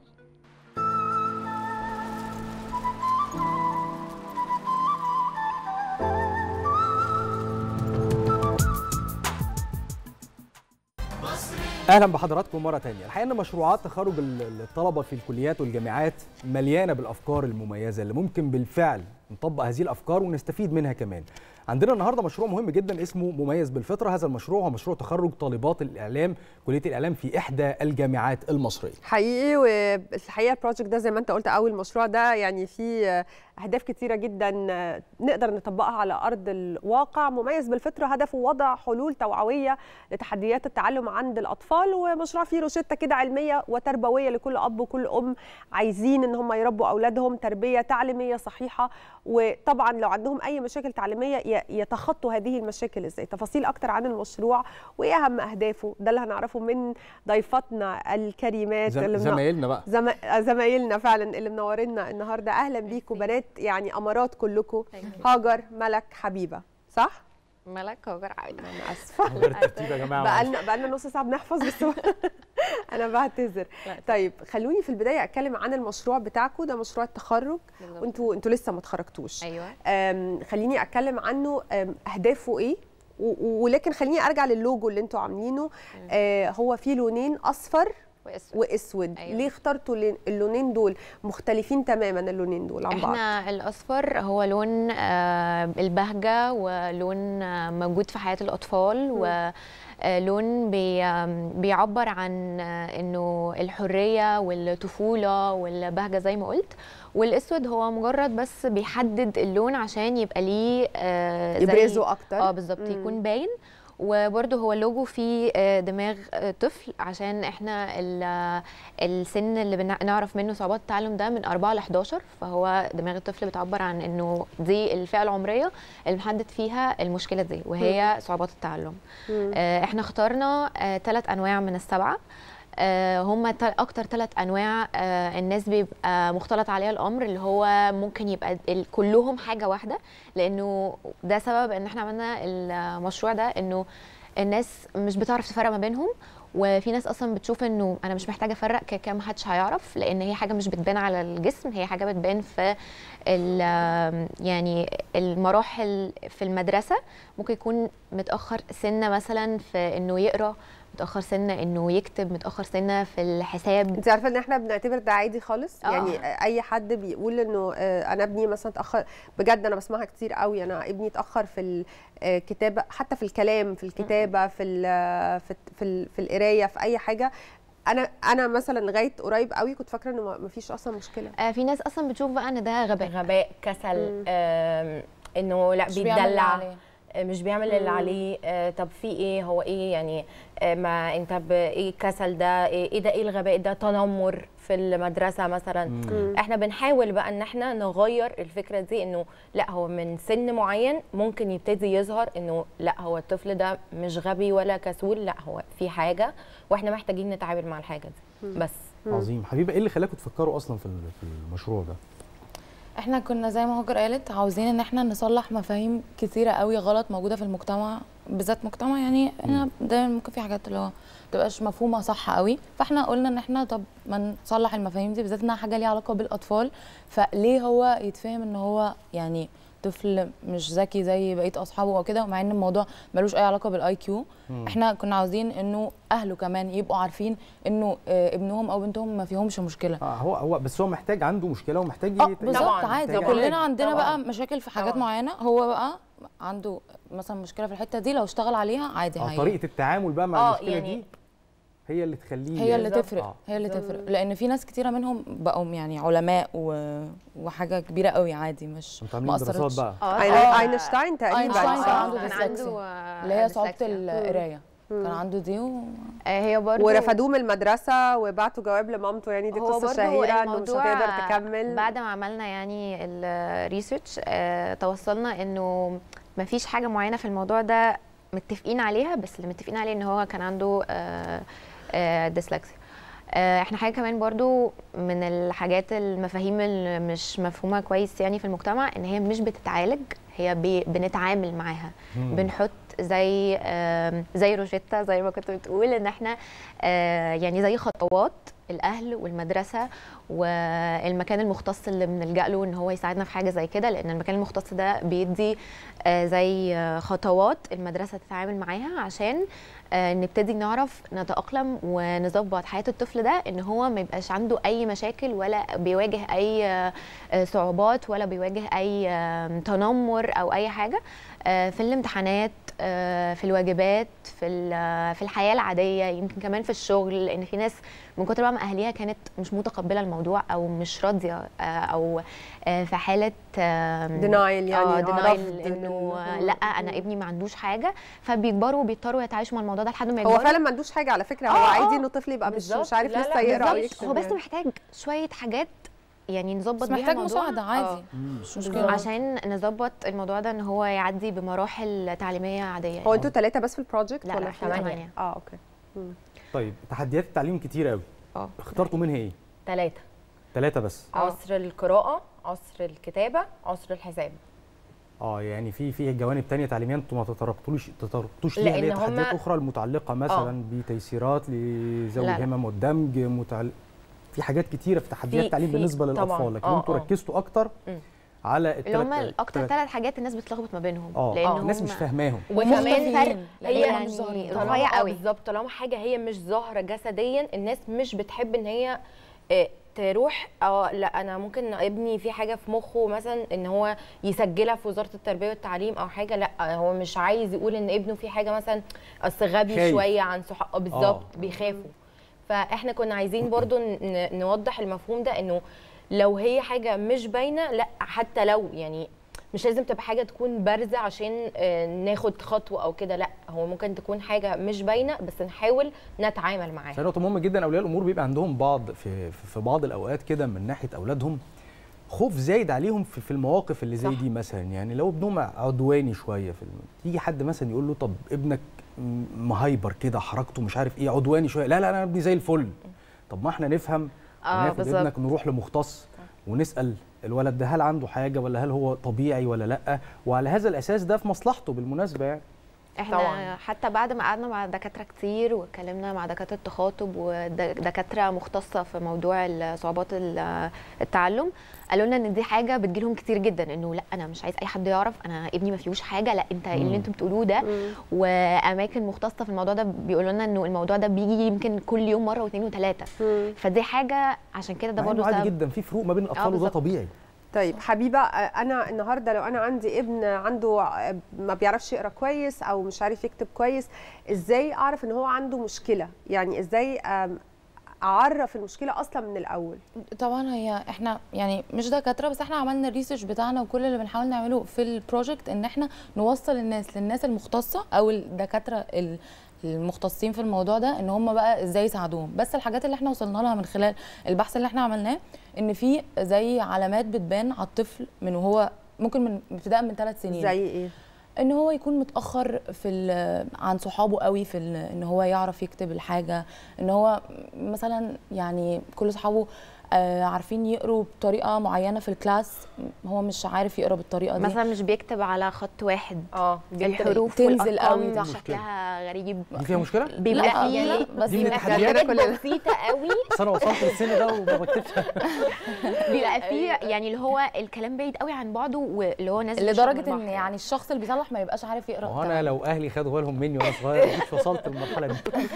يعني اللي عنده عسر في القراءة مثلا بيحتاج إن الورقة تبقى فيها الكلام كلام كبير و highlighted و highlighted كده إنه مم. يبقى وعلى ورق ألوان. ورق ملون. ووقت أكتر. بالظبط في الامتحان و- أو ايا كان. آه، بي- بي- بيبقى محتاج حاجات اللي هو مثلا بيكتب مثلا حروف بالمشقلب حاجات كده بتبان طبعا في الأول في طرق كمان بتساعدهم يعني كتير قوي. الناس آه، قالوا إنه إن أنت لو قريت لهم بالراحة أو خليت القراية دي حاجة مش مملة ليهم هم هينبسطوا بحاجة زي كده وهيحبوا يعني إن هم ي- يكملوا في الموضوع إن هم يبقوا عارفين إزاي يعملوا كده يقروا إزاي صح و... دوركم إيه في كل واحد بقى تقول كده دورها إيه في هذا المشروع؟ أنتوا تمام بنات؟ إحنا شايفين ال- هم آه. دول ال- البنات اللي طبعا كل كلكم. التحية للباقي طبعا مش موجود معانا لكن عايزين نعرف طبعا ال- الأدوار كانت عاملة إزاي كل واحد دوره كان عامل إزاي في هذا المشروع؟ ده كان event عندنا امبارح. آه عملنا booth آه وجبنا عملنا activities وأهالي بقى. جم ولعبوا معانا و... وكل أم كتبت لابنها آه ورقة مكتوب فيها حاجة هي بتحبها فيه. ولعبنا معاهم حصل وما حصلش. قلنا لهم شوية حاجات كده الأهالي كلها بتتفق عليها. آه وعملنا إيه تاني؟ وصورناهم صورة مع بعض. وإحنا عملنا فلتر على انستجرام آه صورناهم بيه وطبعنا لهم صور بولرويد وكده يروحوا بيها ك memory وبس كده طبعا إحنا في الحاجات دي بنقسم بقى الموضوع يعني بنقعد مين عمل إيه آه آه بنقسم بس إحنا يعني في. الآخر كله بيخش في بعضه آه، يعني- عشان اللي هو كل واحدة تلحق الثانية. بس يعني اللي هو بنحاول بس ممكن نتقسم ناس ماسكة الميديا كفرج بالظبط ناس مثلا بتنزل تعمل ال meetings الحاجات ال on ground تروح تتكلم هو ده مع شغل الإعلام الناس. بقى أنا اللي آه. عاجبني قوي إن إن دلوقتي آه كنت لسه هقول إن دلوقتي في مشاريع التخرج مش بس آه يعني واقفة عند فكرة إن أنا أروح أعرضها على الدكتور بتاعي. لا, لا، لا، أنا لا، آه، لا. الموضوع أكبر من كده بكتير. أنا بسوق لمشروعي وعايزة أنجحه وعايزة أوصله. وأنتوا في الحقيقة المشروع أنا بالنسبة لي آه، مش بالنسبة لي كمان يعني بما إنكم موجودين هنا النهارده بالنسبة لنا كلنا المشروع ناجح جدا وكويس جدا. هتجيبوا إيه يعني إن شاء إن شاء الله؟ إن شاء الله. تاخدوا إيه؟ كل واحدة فيكم هدفها إيه من بعد ال- project يعني أنتوا دلوقتي لو عملتوه إن شاء الله إن شاء الله تجيبوا إيه فيه عايزين تروحوا فين بعده؟ كل واحدة يعني هل اتكلمتوا ده كجروب مع بعض؟ آه، هو طبعا ال project ده آه، كل ال process بتاعته معلمانا في كل يعني كل خطوة بنعملها بتعلمنا حاجة حتى لو ما كملناش فيه هيفيدنا بعد كده في أي شغل كتسويق آه، ككلام مع الناس إزاي نتكلم مع الناس نقنع آه، طريقة الإقناع آه، نتعامل إزاي حاجة عايزين نوصلها نوصلها بأنهي طريقة. كل الكلام ده طبعا هيساعدنا جدا حتى لو آه، إحنا قررنا مثلا مش هنكمل في المشروع ده كل واحدة هتشوف المو... الحتة اللي عايزة تروحها. ده في حاجات كتير قوي في ال- ال process كلها علمتنا طبعا إزاي نتعامل و... ده عظيم جدا. مين كان بيتواصل مع الدكاترة؟ كلنا. إحنا كل إحنا أسبوع عندنا بنقعد مع يعني الدكتور بتاعتنا. اللي, اللي ماسك ال project بتاعتنا دكتور واحدة. طبعا في committee كاملة بس اللي ماسك ماسكنا. بتكلم في الجامعة دكاترة التخاطب. آه. آه آه آه التخاطب. طبعاً. آه، إحنا لا، رحنا لدكاترة التخاطب. لازم نتواصل آه، كلنا آه، طبعا في إيه؟ عشان لو حد بيشوفنا دلوقتي آه لا لا زي الفل إحنا رحنا اتكلمنا مع كذا دكتوره عشان ناخد كذا رأي مختلف لأن هم مدارس يعني مم. كذا حد بيقول كذا رأي مختلف بس كلهم بيتفقوا على حاجة واحدة إن المدرسة والأهالي في البيت لازم يكونوا ماشيين على نفس الخط عشان نوصل آه، مم. لحتة في النص إنه ما ينفعش الأهل يكونوا رافضين الفكرة والمدرسة بتحاول أو المدرسة. رافضة والأهل وده بيحاولوا يرجعنا إنه ليه أصلا اخترنا الناس اللي نتكلم معاهم هم الأهل الموضوع دايما بيجي من جوه البيت بعدين نبتدي نطلعه بره طب احكوا لنا حكايات بقى. حبيبي احكي لنا حكايات كده من الأهل. قالوا لكم إيه؟ حاجات وحشة ولا حلوة؟ نبتدي من أنهي side؟ والله في حاجة مثلا ضايقتنا قوي اللي عرفناها لما يعني رحنا اتكلمنا مع حد من المختصين وكده إن هو آه، ابنه أو بنته يعني آه، واحد من الأهل كان مودي بنته أو بنت ابنه ال center وبعد ما عمل progress رهيب يعني آه، هي آه، قالوا له يعني إن هم ممكن يصوروا آه، البروجرس اللي هو عمله لحد دلوقتي وينزلوه كده عشان يعني الناس تعرف قد إيه هو بيحاول وكده. وهو قال لهم إنه لأ يعني هو ربنا ستره فليه ليه ننزل؟ ليه نفضحه؟ كده ف- بالظبط.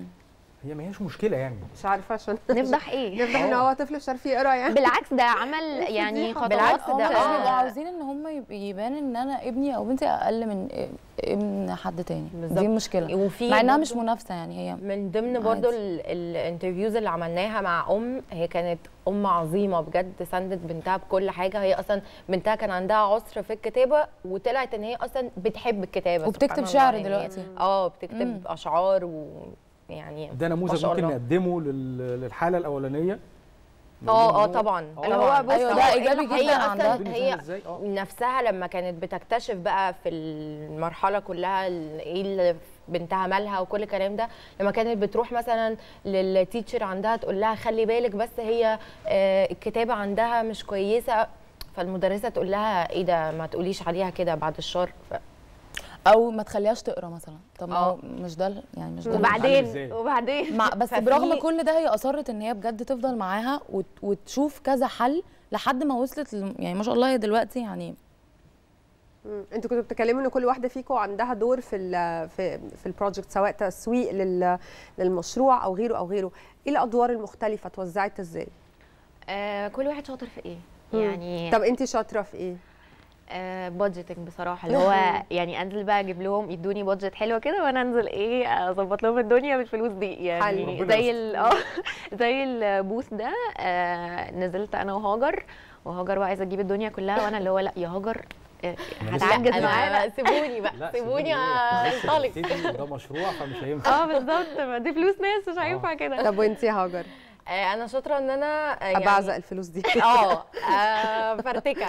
آه، بعرف برضو اللي هو نتكلم مع الناس ميديا آه، people هايلة تطلعي ال- ال- الحالات مع... تشوفي الحالات ولا ميديا تسوقي؟ الميديا وكمان لما بنعمل interviews مع ناس متخصصة وكده آه، يعني اللي هو أوصل لهم الموضوع بتاعنا بيتكلم عن إيه الفكرة عايزين نعمل إيه كل الكلام ده. يعني ده كان وانت يا حبيبة. تصوير بقى الحاجات اللي إحنا بننزلها. ومنتجه بقى آه. آه. شغل عالي وأنا حاسة إن بقية البنات هيبقوا هم اللي بيعملوا research بقى نفسه يعني هم اللي بيكتبوا آه، الكلام ده اونلاين بقى ال accounts بقى كل واحد ماسك account عندنا ثلاثة فيسبوك وانستجرام وتيك توك فإحنا كل واحد بقى ماسك مثلا account حلو. بننزل عليه حاجات. إيه بقى الحاجات اللي بتنزل على الحسابات ماشي. آه مبدئيا انستجرام هو ال- الأساسي ال account الأساسي بتاعنا. آه، بننزل بقى آه، كل حاجة عن أو من البداية خالص إزاي تعرف تكتشف أصلا الموضوع آه، من القراءة والكتابة والحساب كل واحد لوحدها آه، إزاي تتعامل بعد ما تكتشف تروح لمين تتكلم مع مين آه، بنديهم مثلا آم، ده, حاجات كتابه ده كتابة ولا فيديوهات؟ الاثنين بنعمل الاتنين. الاثنين آه. آه مين بيعمل فيديوهات؟ أنتوا برضه. آه آه، آه. بنصورها وبنمنتجها ونعمل كل حاجة. في في بتستعينوا مثلا ببيطات لدكاترة أساتذة تخاطب وهم بيتكلموا؟ آه آه آه طبعا بنعمل طبعا. كده يعني. لما رحنا السنتر بتاع التخاطب آه، اتكلمنا مع صاحبته ونزلنا الفيديو بتاعها و... إحنا برضو في كذا دكتور وكذا مختص نزلوا لنا آه، videos إن هم بيدعموا بيدعموا الحملة الحملة. بتاعتنا وإن هم إحنا برضو بنروح لهم وبنقعد معاهم ونشرح لهم كل الحاجات اللي عملناها وال research اللي عملناه وهم بينبهروا بصراحة عشان إحنا تعبنا قوي في ال research ده. وطبعا يعني أكبر دعم خدناه كان من مجلس القومي للطفولة والأمومة.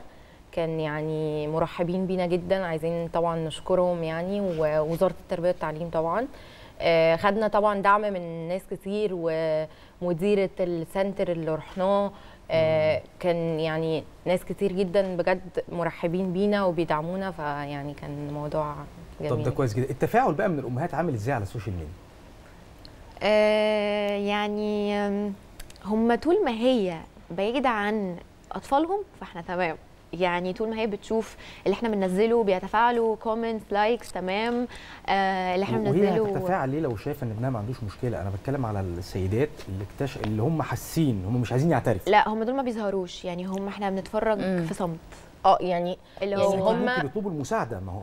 آه آه، يعني طبعاً. امبارح جات لنا واحدة. في أم في ال booth وقالت لنا طب دلوقتي أنا بنتي عندها كذا كذا كذا أعمل إيه اديناها آه، الليستة بتاعت الدكاترة اللي اتكلمنا معاهم وال centers اللي اتعاملنا معاهم برضو عشان دي الحاجات اللي إحنا ضامنين إن هي بتتكلم في نفس اللي إحنا بنقوله ومضمونين يعني شفنا آه، ناس اتعاملت معاهم وفعلا حسوا بفرق آه، وهي قالت لنا تمام يعني.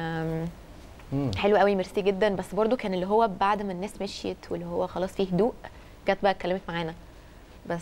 اللي هي برضو من نفس المنطق. ليه هو؟ هو يعني لسه ما وصلناش يعني لتحقيق الهدف بتاعي إنه هيتكلموا بقى في الموضوع توصلوا له بقى إزاي؟ أنا عايز أعرف. يعني إحنا دلوقتي اشتغلنا ورحنا آه، أماكن متخصصة في التعامل مع الأطفال ورحنا لدكاترة التخاطب وبدأنا ننزل ونعمل إيفنتات. توصلوا للهدف بتاعكم إزاي؟ أعتقد- التوعية. بان آه. ده أمر طبيعي جدا مفيش منه مشكلة أعتقد اما يتأكدوا إن إحنا الكلام اللي بنجيبه ده كلام موثوق يعني بنجيبه من ناس آه، وطبعا موثوقة. لازم الأول يكونوا متفاهمين بعدين مقتنعين بعدين بقى نبتدي ناخد step in. إحنا آه تمام هن بس ده هيجي من التجارب يعني الناس عشان تثق فعلا زي ما أنتم بتقولوا في, في الكلام بتاعكم في ال- لازم يكون في تجارب قبل كده طبعا إحنا ما هو إحنا بقى بنشجعهم عن طريق بقى آه. نركز إن إحنا نعرض آه، آه، التجارب آه، دي يعني زي طبعاً. التجربة اللي أنتوا الحالات. أم- بالظبط، آه أم. ده فضلت تدعم ابنها أو بنتها لحد ما بقى حاجة كويسة جدا دلوقتي نركز بقى على النماذج اللي زي دي على ال social media هو ده اللي بنحاول. ننزله طبعا عشان يتشجعوا إنه إيه ده طب يعني عادي إن أنا أقول قصتي أو عادي إن أنا أشجع ابني إن هو عادي نتكلم في الموضوع عادي آه نقول إن إحنا عندنا حاجة بنتعامل معاها بطريقة معينة وده طبيعي يعني ما فيش بعدين أي اللي حاجة بيبقى. عنده صعوبة في حاجة ربنا بيبقى مميزه في حاجة تانية خالص أكبر بكتير. جميل. فبالعكس هي حاجة مش وحشة. طيب أنا عايزاكم دلوقتي تدوا زي أمثلة كده للمشاهدين بيتفرجوا علينا دلوقتي وحاسين إن أولادهم عندهم مشكلة. آه، بحد زي مثلا آه، أديسون آه، ألبرت أينشتاين الناس دي كلها. نماذج يعني علماء كبار جدا غيروا العالم من حواليهم. كان عندهم مشاكل في في القراءة. في في ناس تانية هو مش عالم عارفينها؟ بس هو بالنسبة للأطفال كتيرة حاجة زي يعني ال hero بتاعهم هاري بوتر مثلا مثلاً. الممثل. برافو حلو. هو عنده كان عنده ديسلكسيا برضو الممثل نفسه. آه. الممثل نفسه. وبيتعامل معاها عادي وهو حاجة دلوقتي آه، يمكن الناس ما تعرفهاش يعني بس حاجة ما أثرتش على وجوده كإنسان في الحياة وهو حد مشهور دلوقتي و series بتاعت هاري بوتر يعني آه، حاجة كل معروفة. بيحبوها يعني و أطفال وكبار آه والله. إحنا بنتمنى لكم التوفيق. ميرسي جدا. يعني أنا أنا مبسوط جدا آه. بوجودكم معانا بأمانة و- وفرحان أكتر إن أنتوا وأنتوا بتتكلموا دلوقتي كأنكم مختصين يعني. عجبني الموضوع. أنتوا خلاص تعمقتوا في الموضوع آه، قوي لا، وقادرين تردوا على الناس وتتفاعلوا بعلم. مش مجرد إن هم عملوا search وجابوا كلمتين من على جوجل ولا حاجة لا بعلم. راحوا للدكاترة وراحوا وراحوا للمختصين فهموا طبيعة المشاكل والتحديات اللي ممكن تواجه الأطفال في هذا السن وبدأوا يتعاملوا معاها وبدأوا ينشروا فيديوهات للتوعية كمان. فحقيقة إحنا مبسوطين جدا بوجودكم معانا إحنا النهارده مبسوطين أكتر إن إحنا كنا معاكم النهارده. ملك. أيوه. آه هاجر ده حبيبه بالترتيب بقى. آه ده بالترتيب. بنتمنى لكم كل التوفيق. طبعا آه، خليني أقول آه، أنتوا طلاب بالفرقة الرابعة بكلية إعلام بتمنى لكم إن أنتوا تنجحوا ان شاء الله بتفوق وإن شاء الله ال project ده ياخد A يعني A plus كمان. إن شاء الله. المفروض يعني لو الدكاترة بيتفرجوا علينا دلوقتي.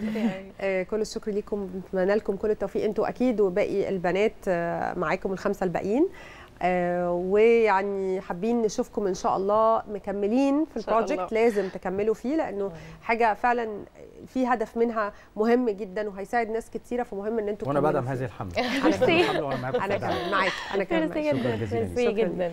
مشاهدينا هنروح لفاصل سريع ونرجع من بعده نكمل باقي فقرات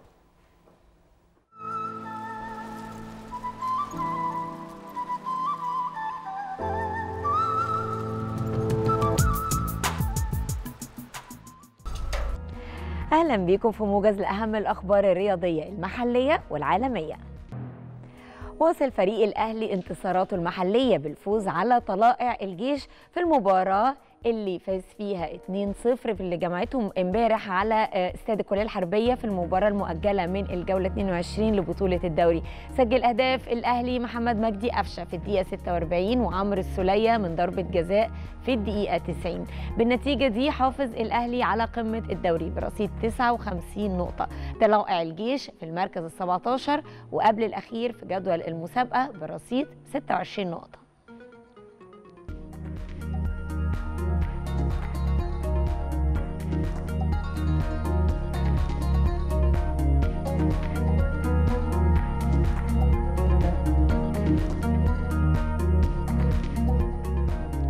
محمد مجدي قفشه صانع ألعاب فريق الأهلي. حصل على لقب أفضل لاعب في مباراة فريقه قدام طلائع الجيش بعد اختياره من رابطة الأندية المحترفة وده بعد الأداء الجيد اللي قدمه خلال اللقاء.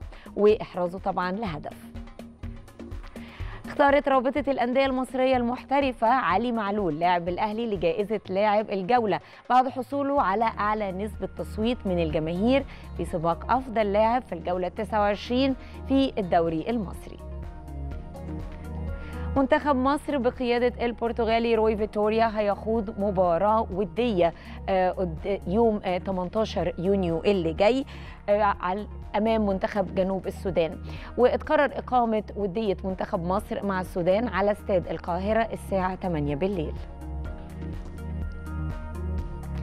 أعلنت رابطة اللاعبين المحترفين للإسكواش عن اختيار الثنائي المصري علي فرج لاعب وادي دجلة والمصنف الرابع عالميا للرجال ونور الشربيني لاعبة سبورتنج والمصنفة الأولى عالميا للسيدات كأفضل لاعبين في شهر مايو. وده بعد ما نجحوا في الاحتفاظ بلقب بطولة العالم للنسخة الثالثة على التوالي.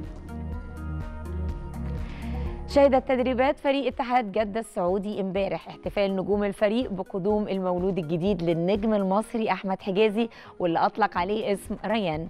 النادي السعودي عمل تورتة خاصة احتفالا بمولود حجازي وشارك رئيس نادي الاتحاد في الاحتفال.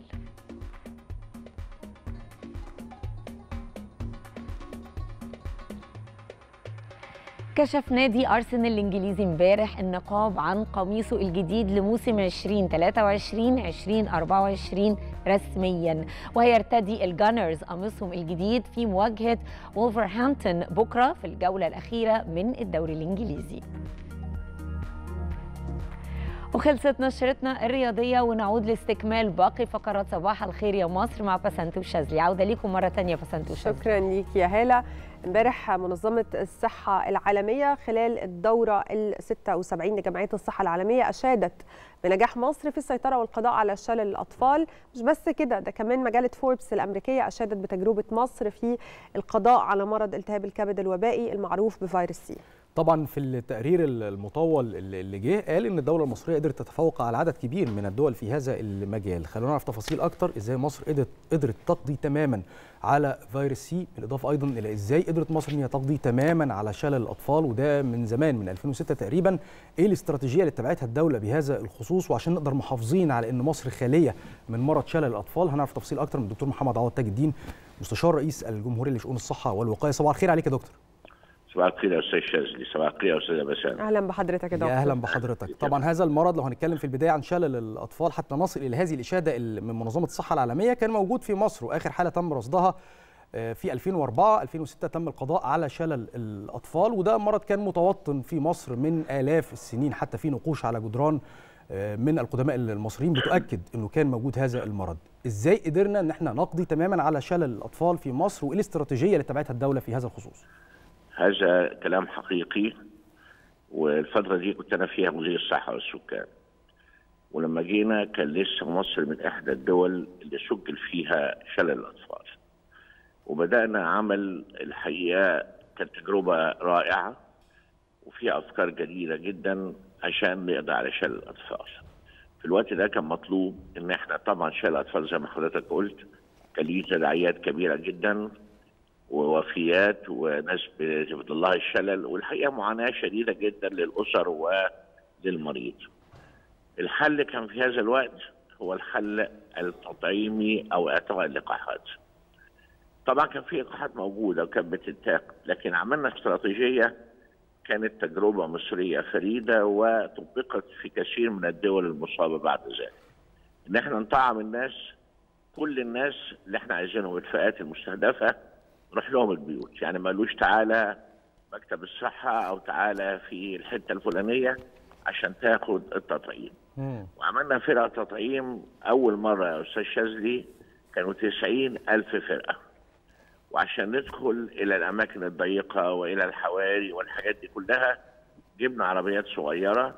عربيات صغيرة يعني آه، اسمح لي لو أقول لك اللي إحنا بنسميها سوزوكي دي الصغيرة. مفهوم. وعملنا الفرقة بفرق يعني تبريد متنقلة لأن في وقت من الأوقات كان التطعيم بي- بيتحط في حتة ممكن الحر يبوظه. وما أعرفش حاجة تتذكروا ولا لأ عدينا على البيوت بيت بيت وأنا شخصيا كنت بعدي في الأماكن العشوائية والأماكن النائية ومحطات الأتوبيس كل مك... المترفرين والقادمين وكنا بنديهم التطعيم بتاع شلل الاطفال وقعدنا في هذه القصة عدة سنوات. انت بتقدر ترصد نجاح الحملات بتاع شلل الأطفال انك بتشوف الفيروس موجود في الصرف الصحي ولا لا.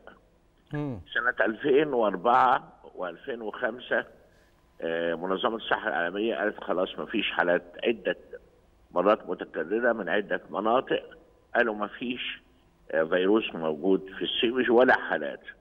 وأنا في الوقت ده صممت إن إحنا نتأكد 100% حتى عندما نعلن أن مصر خالية من شلل الأطفال بيكون فعلا ما فيش شلل اطفال ومن هذه الفترة والحمد لله كثيرا ما كانش في حالات شلل اطفال إنما الحتة اللي حضرتك قلتها وهي في منتهى الأهمية أن التطعيم ما زال مستمر حتى هذه. اللحظة طب ليه بقى يا فندم الناس ليه بتسأل بقى؟ ليه السؤال الحلو ده مم. ليه؟ لأن في بعض البلاد المجاورة والتي فيها مشاكل فيها بعض حالات شلل الأطفال.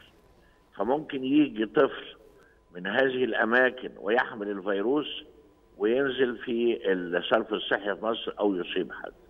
وعشان كده لحد هذه اللحظة حملات شلل الأطفال باستخدام جميع أنواع الطعوم الحديثة بتستخدم في تطعيم الأطفال في مصر وكل حد من الأطفال قادم من خارج مصر خصوصا البلاد اللي ما زال فيها شلل الأطفال. يعني بعض البلاد العربية ما زال فيها. عندنا عدة آلاف من المهاجرين أو الضيوف دي علينا آه، دخلوا مصر في من الحدود الجنوبية. في الوقت ده كل في فرق قاعدة هناك عشان تطعمهم ضد شلل الأطفال. يبقى الخطة القومية المطبقة والمؤكدة إن إحنا رغم إن ما فيش ولا حالة شلل اطفال في مصر ما زلنا بنقوم بالتطعيم آه، سواء للأطفال المصريين أو الأطفال القادمين من الخارج سواء مصريين أو غير مصريين. وأنا برضو بأكد عن طريق حضرتك إن الناس تستمر وتستجيب وياخدوا الطعوم بتاع شلل الأطفال. فرق التطعيم اللي إحنا بنسميها طرق الأبواب بتروح لهم لغاية البيوت بتقف في محطات الأتوبيس في محطات القطارات في كل مكان عشان استمرار عملية التطعيم. بس ده لسن معين يا فندم. شوف سيادتك؟ هو زمان كنا بندي من من zero لخمسة يعني من أول سن من أول يوم أول يوم ولادة لخمس سنوات. حاليا امتد شوية لأن رصد في بعض البلاد إن ممكن حالات تصاب حتى 15 سنة. فإحنا مدينا للقادمين والموجودين اللي بيجوا من بره مصر لغاية 15 سنة. مم. طيب آه، إحنا كمان يا دكتور دلوقتي لو هنتكلم عن مرض زي فيروس سي إحنا مصر آه، تفوقت على دولة كبيرة زي الولايات المتحدة في علاج مرضى فيروس سي. دلالة ده إيه؟ إحنا مصر حضرتك كان فيروس سي. يا ربنا يديكم الصحة. يمكن ما حضرتوش الأزمات الكبيرة جدا للإصابة بالهرشي قبل كده. والإصابة بالفيروسات الكبدية. و و وكانت مشكلة حقيقية كان كثيرا من المصريين مصابين بمرض البلهارسيا لغاية ما وصلنا إلى أقراص اللي تعالج البلهارسيا وكان ست أقراص وانتجتهم إحدى شركات الدواء. فالبلهارسيا طبعا الحمد لله سيطر عليها تمام فضل بقى الفيروسات الكبديه فيروس سي ملوش تطعيم لحد دلوقتي. وعشان كده آه، حضرتك كان الحالة اللي بتشخص كان لازم تاخد علاج. المرض الفيروس سي ده كان مرض خطير جدا معدي بينتقل عن طريق الدم بينتقل عن طريق ال- الحقن غير الآمن بينتقل في بعض الممارسات اللي فيها بيتم تعرض المريض لبعض ال- الدم والآلات والكلام ده كله. النهارده بقى في سيطرة تماما على هذه الوسائل من ناحية ومن ناحية أخرى والحمد لله وطبعا البلد وسيادة الرئيس والحكومة تبنت العلاج الكامل والشامل لفيروس سي بالأدوية. وكان الدواء كان ثمنه غالي جدا جدا واستطاعت مصر بمكانتها وقدرتها وعلمها إنها توفر الأدوية لاقراص لملايين المصريين بأسعار معقولة جدا. لحد هذه اللحظة آه، أي حد آه، سواء بيجي أو موجود عنده آه، يعني فيروس سي بيتم العلاج بالمجان. وفي ظل التوجهات الرئاسية والحملات الرئاسية والحملات الطبية للكشف على فئات مختلفة من الشعب وطلاب الجامعات وطلاب المدارس والداخلين الكليات وكل ده حتى الآن اللي مقبلين على الجواز ضمن الشهادة اللي هي هياخدها الشاب أو الشابة المقبلة على الجواز بيتكشف على فيروس سي. وأي حالة مشتبه فيها أو كده بتاخد علاج فورا ومجانا. والنقطة الثانية بقى المهمة يا أستاذ شاذلي يا استاذه بسان إن في متابعة لهذه الحالات. عظيم. يعني حتى اللي خد علاج بيحصل نوع من المتابعة الدقيقة والمستمرة حتى لو في أي احتمالية الآن أي انتكاسة بيتم العلاج. عظيم. دكتور محمد تم فحص في هذه الحملة حوالي 60 مليون مواطن. مظبوط؟ مظبوط يا فندم. طيب إيه اللي. اكتشفناه؟ اتفضل يا فندم. إيه اللي اكتشفناه من خلال هذه. الحملات؟ بيتم فيها ملايين النهارده الشباب اللي داخل الجامعة.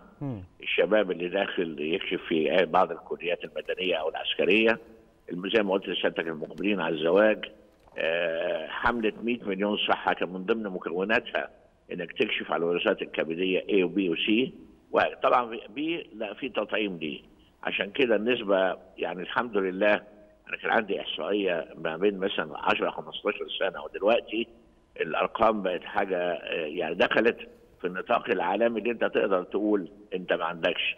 لما تقول مثلا حالة لكل 100000 أو كده فالرقم بينخفض كثيرا والحمد لله. صحيح. من خلال بقى هذا الفحص أكيد بقى عندنا قاعدة بيانات. يعني مثلا من خلال كل هذه الح- الحملات هل اكتشفنا مثلا انتشار فيروس سي في منطقة من المناطق؟ فده يخلينا نرجع نفكر إيه سبب انتشاره في هذه المنطقة؟ آه، شوف سيادتك ده سؤال وجيه جدا ومهم. آه، بحكم خبرتي الطبية ال- البلاد أو ال- المحافظات اللي كانت زراعيه معتمدة تماما على الزراعة وكان فيها بيتعرض تم التعرض لمياه الترع وكده. ما أعرفش حضرتك لحقت الكلام ده ولا لأ لحقت يا فندم لا لحقت. كان كان مرض البلهارسيا منتشر جدا. وده كان مرض البلهارسيا هو كمرض اولا وثانيا لأن كان زمان العلاج في حملات يا فندم كتير في التلفزيون وإعلانات. ف- فكانت الحقن لسه عملية التطعيم أو استخدام الحقن الآمنة اللي تتاخد لمرة واحدة ما كانتش موجودة. لكن دلوقتي آه، بيتم طبعا آه، كان زمان لو الخريطة يعني مثلا اللي قاعدين في القاهرة في مناطق ما فيهاش لا ترعه ولا الكلام ده كله بيبقى أقل. المحافظات الزراعيه كاملا كان النسبة بتبقى أكثر. لكن في المتوسط يعني كل هذه المحافظات تم العلاج وتم زي ما قلت قبل كده سيادتك تم السيطرة على البلهارسيا ما بقيناش نستخدم الحقن الطرطير المقيء الأدوات الجراحية معقمة أدوات الأسنان معقمة ال- في infection control أو السيطرة على أي التهابات ممكن تنقل الدم تأمن تماما.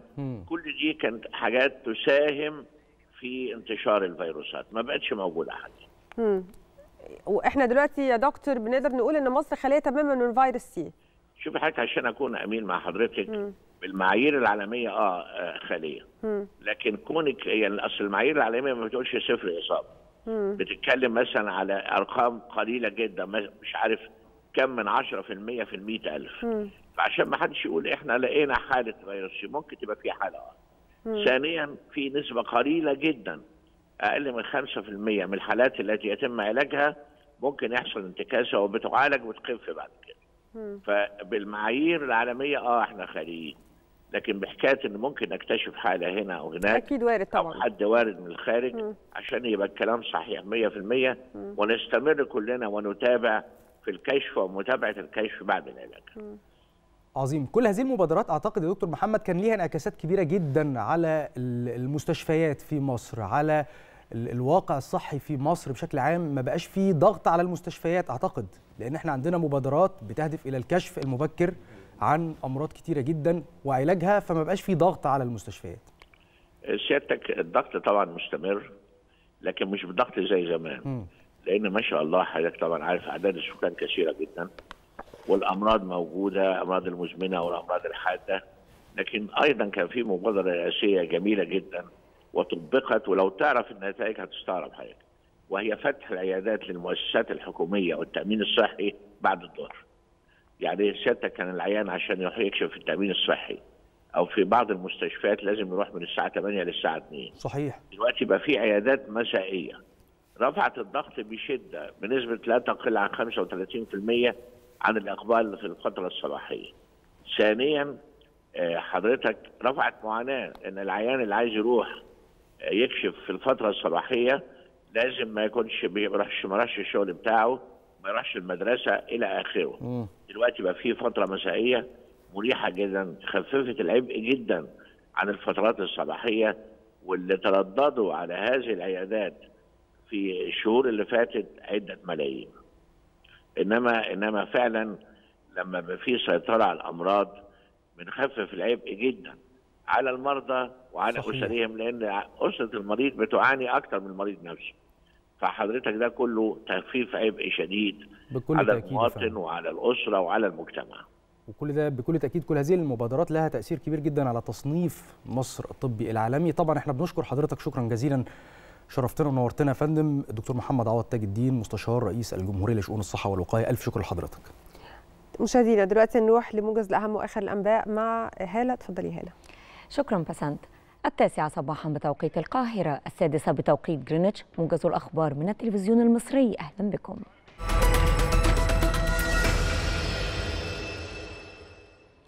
أعلنت القوات المسلحة السودانية استدعاء كاملا لكل ضباط وضباط صف وجنود ومتقاعدي القوات المسلحة. وقال وزير الدفاع السوداني المكلف الفريق ركن ياسين إبراهيم ياسين إن هذا القرار يأتي دعما لإعادة الأمن والاستقرار واتساقا مع الظروف التي فرضتها قوات الدعم السريع واستهدافها للمواطنين واستخدامهم كدروع بشرية. هذا وأهب الجيش السوداني برجال القوات المسلحة من ضباط وضباط صف وجنود وكل القادرين على حمل السلاح أن يتوجهوا لأقرب قيادة عسكرية. نددت بريطانيا وفرنسا وإيطاليا وألمانيا والولايات المتحدة بأعمال عنف وقعت في كوسوفو بعدما اشتبك محتجون مع الشرطة في بلدة يمثل الصرب الأغلبية فيها. ودعت الدول الخمس في بيان مشترك السلطات في كوسوفو إلى تهدئة الأوضاع. كانت الشرطة أطلقت الغاز المسيل للدموع في بلدة زفيتشان لفض حشد خارج أحد مباني البلدية. وحاول المحتجون منع حاكم من أصل ألباني منتخب حديثا من دخول مكتبه عقب انتخابات قاطعها الصرب المقيمون في كوسوفو مما دفع الرئيس الصربي ألكسندر فوتشيتش جيش البلاد في حالة تأهب قصوى. وأمر وحداته بالتحرك إلى أماكن قريبة من الحدود مع كوسوفو. قالت وزارة الدفاع الأوكرانية إن روسيا تخطط لمحاكاة حادث كبير في محطة زابوريجيا للطاقة النووية التي تسيطر عليها قوات موالية لموسكو في محاولة لإحباط هجوم مضاد أوكراني مخطط له منذ فترة طويلة. وقالت إدارة المخابرات بوزارة الدفاع إن القوات الروسية ستقصف المنشأة قريبا ثم تعلن عن تسرب إشعاعي. هذا وهذا من شأنه أن يجبر السلطات الدولية على إجراء تحقيق يتم خلاله وقف جميع الأعمال القتالية. قال الرئيس الأمريكي جو بايدن إنه يأمل في التوصل إلى حل لأزمة سقف الدين الأمريكي بين الديمقراطيين والجمهوريين في غضون ساعات معربا عن تفاؤله إزاء المفاوضات الجارية. بدورها مددت وزيرة الخزانة الأمريكية جانيت يلن الموعد النهائي لرفع سقف اقتراض الحكومة الاتحادية. وقالت إن الحكومة قد تتخلف عن سداد التزاماتها بحلول الخامس من يونيو مما لم يتفق على رفع سقف الدين البالغ بالغ 31.4 تريليون دولار. وكانت وزيرة الخزانة الأمريكية توقعت في وقت سابق أن تتخلف الحكومة عن السداد في أول يونيو. قالت اللجنة الموريتانية المستقلة للانتخابات إن أكثر من 412 ألف ناخب يتوجهون اليوم إلى مكاتب الاقتراع في الجولة الثانية من الانتخابات البرلمانية. وكان مليون وتسعمائة ألف شخص قد صوتوا في الجولة الأولى في الثالث عشر من مايو الجاري. في انتخابات هيمن عليها الحزب الحاكم الذي فاز بثمانين مقعدا برلمانيا. فيما فازت المعارضة بأربعة وعشرين مقعدا. وحصلت الأحزاب الداعمة للرئيس الغزواني على 36 مقعدا. عزز النادي الأهلي صدارته لجول الدوري الممتاز لكرة القدم بفوزه على مضيفه فريق طلائع الجيش بهدفين دون رد في المباراة التي جمعتهما على استاد الكلية الحربية بالقاهرة والمؤجلة من الجولة الثانية والعشرين للمسابقة. سجل ثنائي الأهلي محمد مجدي أفشة بتسديدة قوية من خارج منطقة الجزاء في الدقيقة السادسة والأربعين وعمرو السلية من ضربة جزاء في الدقيقة الواحدة والتسعين. فيما أكمل الطلائع اللقاء بعشرة لاعبين فقط بعد طرد مدافعه محمد سمير في الدقيقة 90 رفع الفوز رصيد الأهلي إلى 59 نقطة في صدارة جدول الدوري بعد خوض 23 مباراة فقط في المسافة بفارق أربع نقاط عن بيراميدز الوصيف. بينما توقف رصيد طلائع الجيش عند 26 نقطة في المركز السابع عشر وقبل الأخير.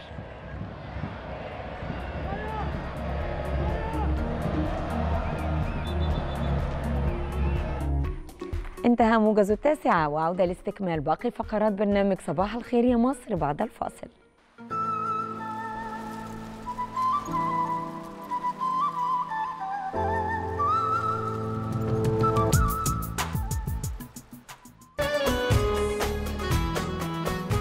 الاستثمار هو المحرك الرئيسي لأي اقتصاد في العالم. عشان كده لابد من تعزيز آليات جذب الاستثمار المحلي والأجنبي وكمان تحفيز الاستثمار وده اللي بيتم مناقشته حاليا في الحوار الوطني.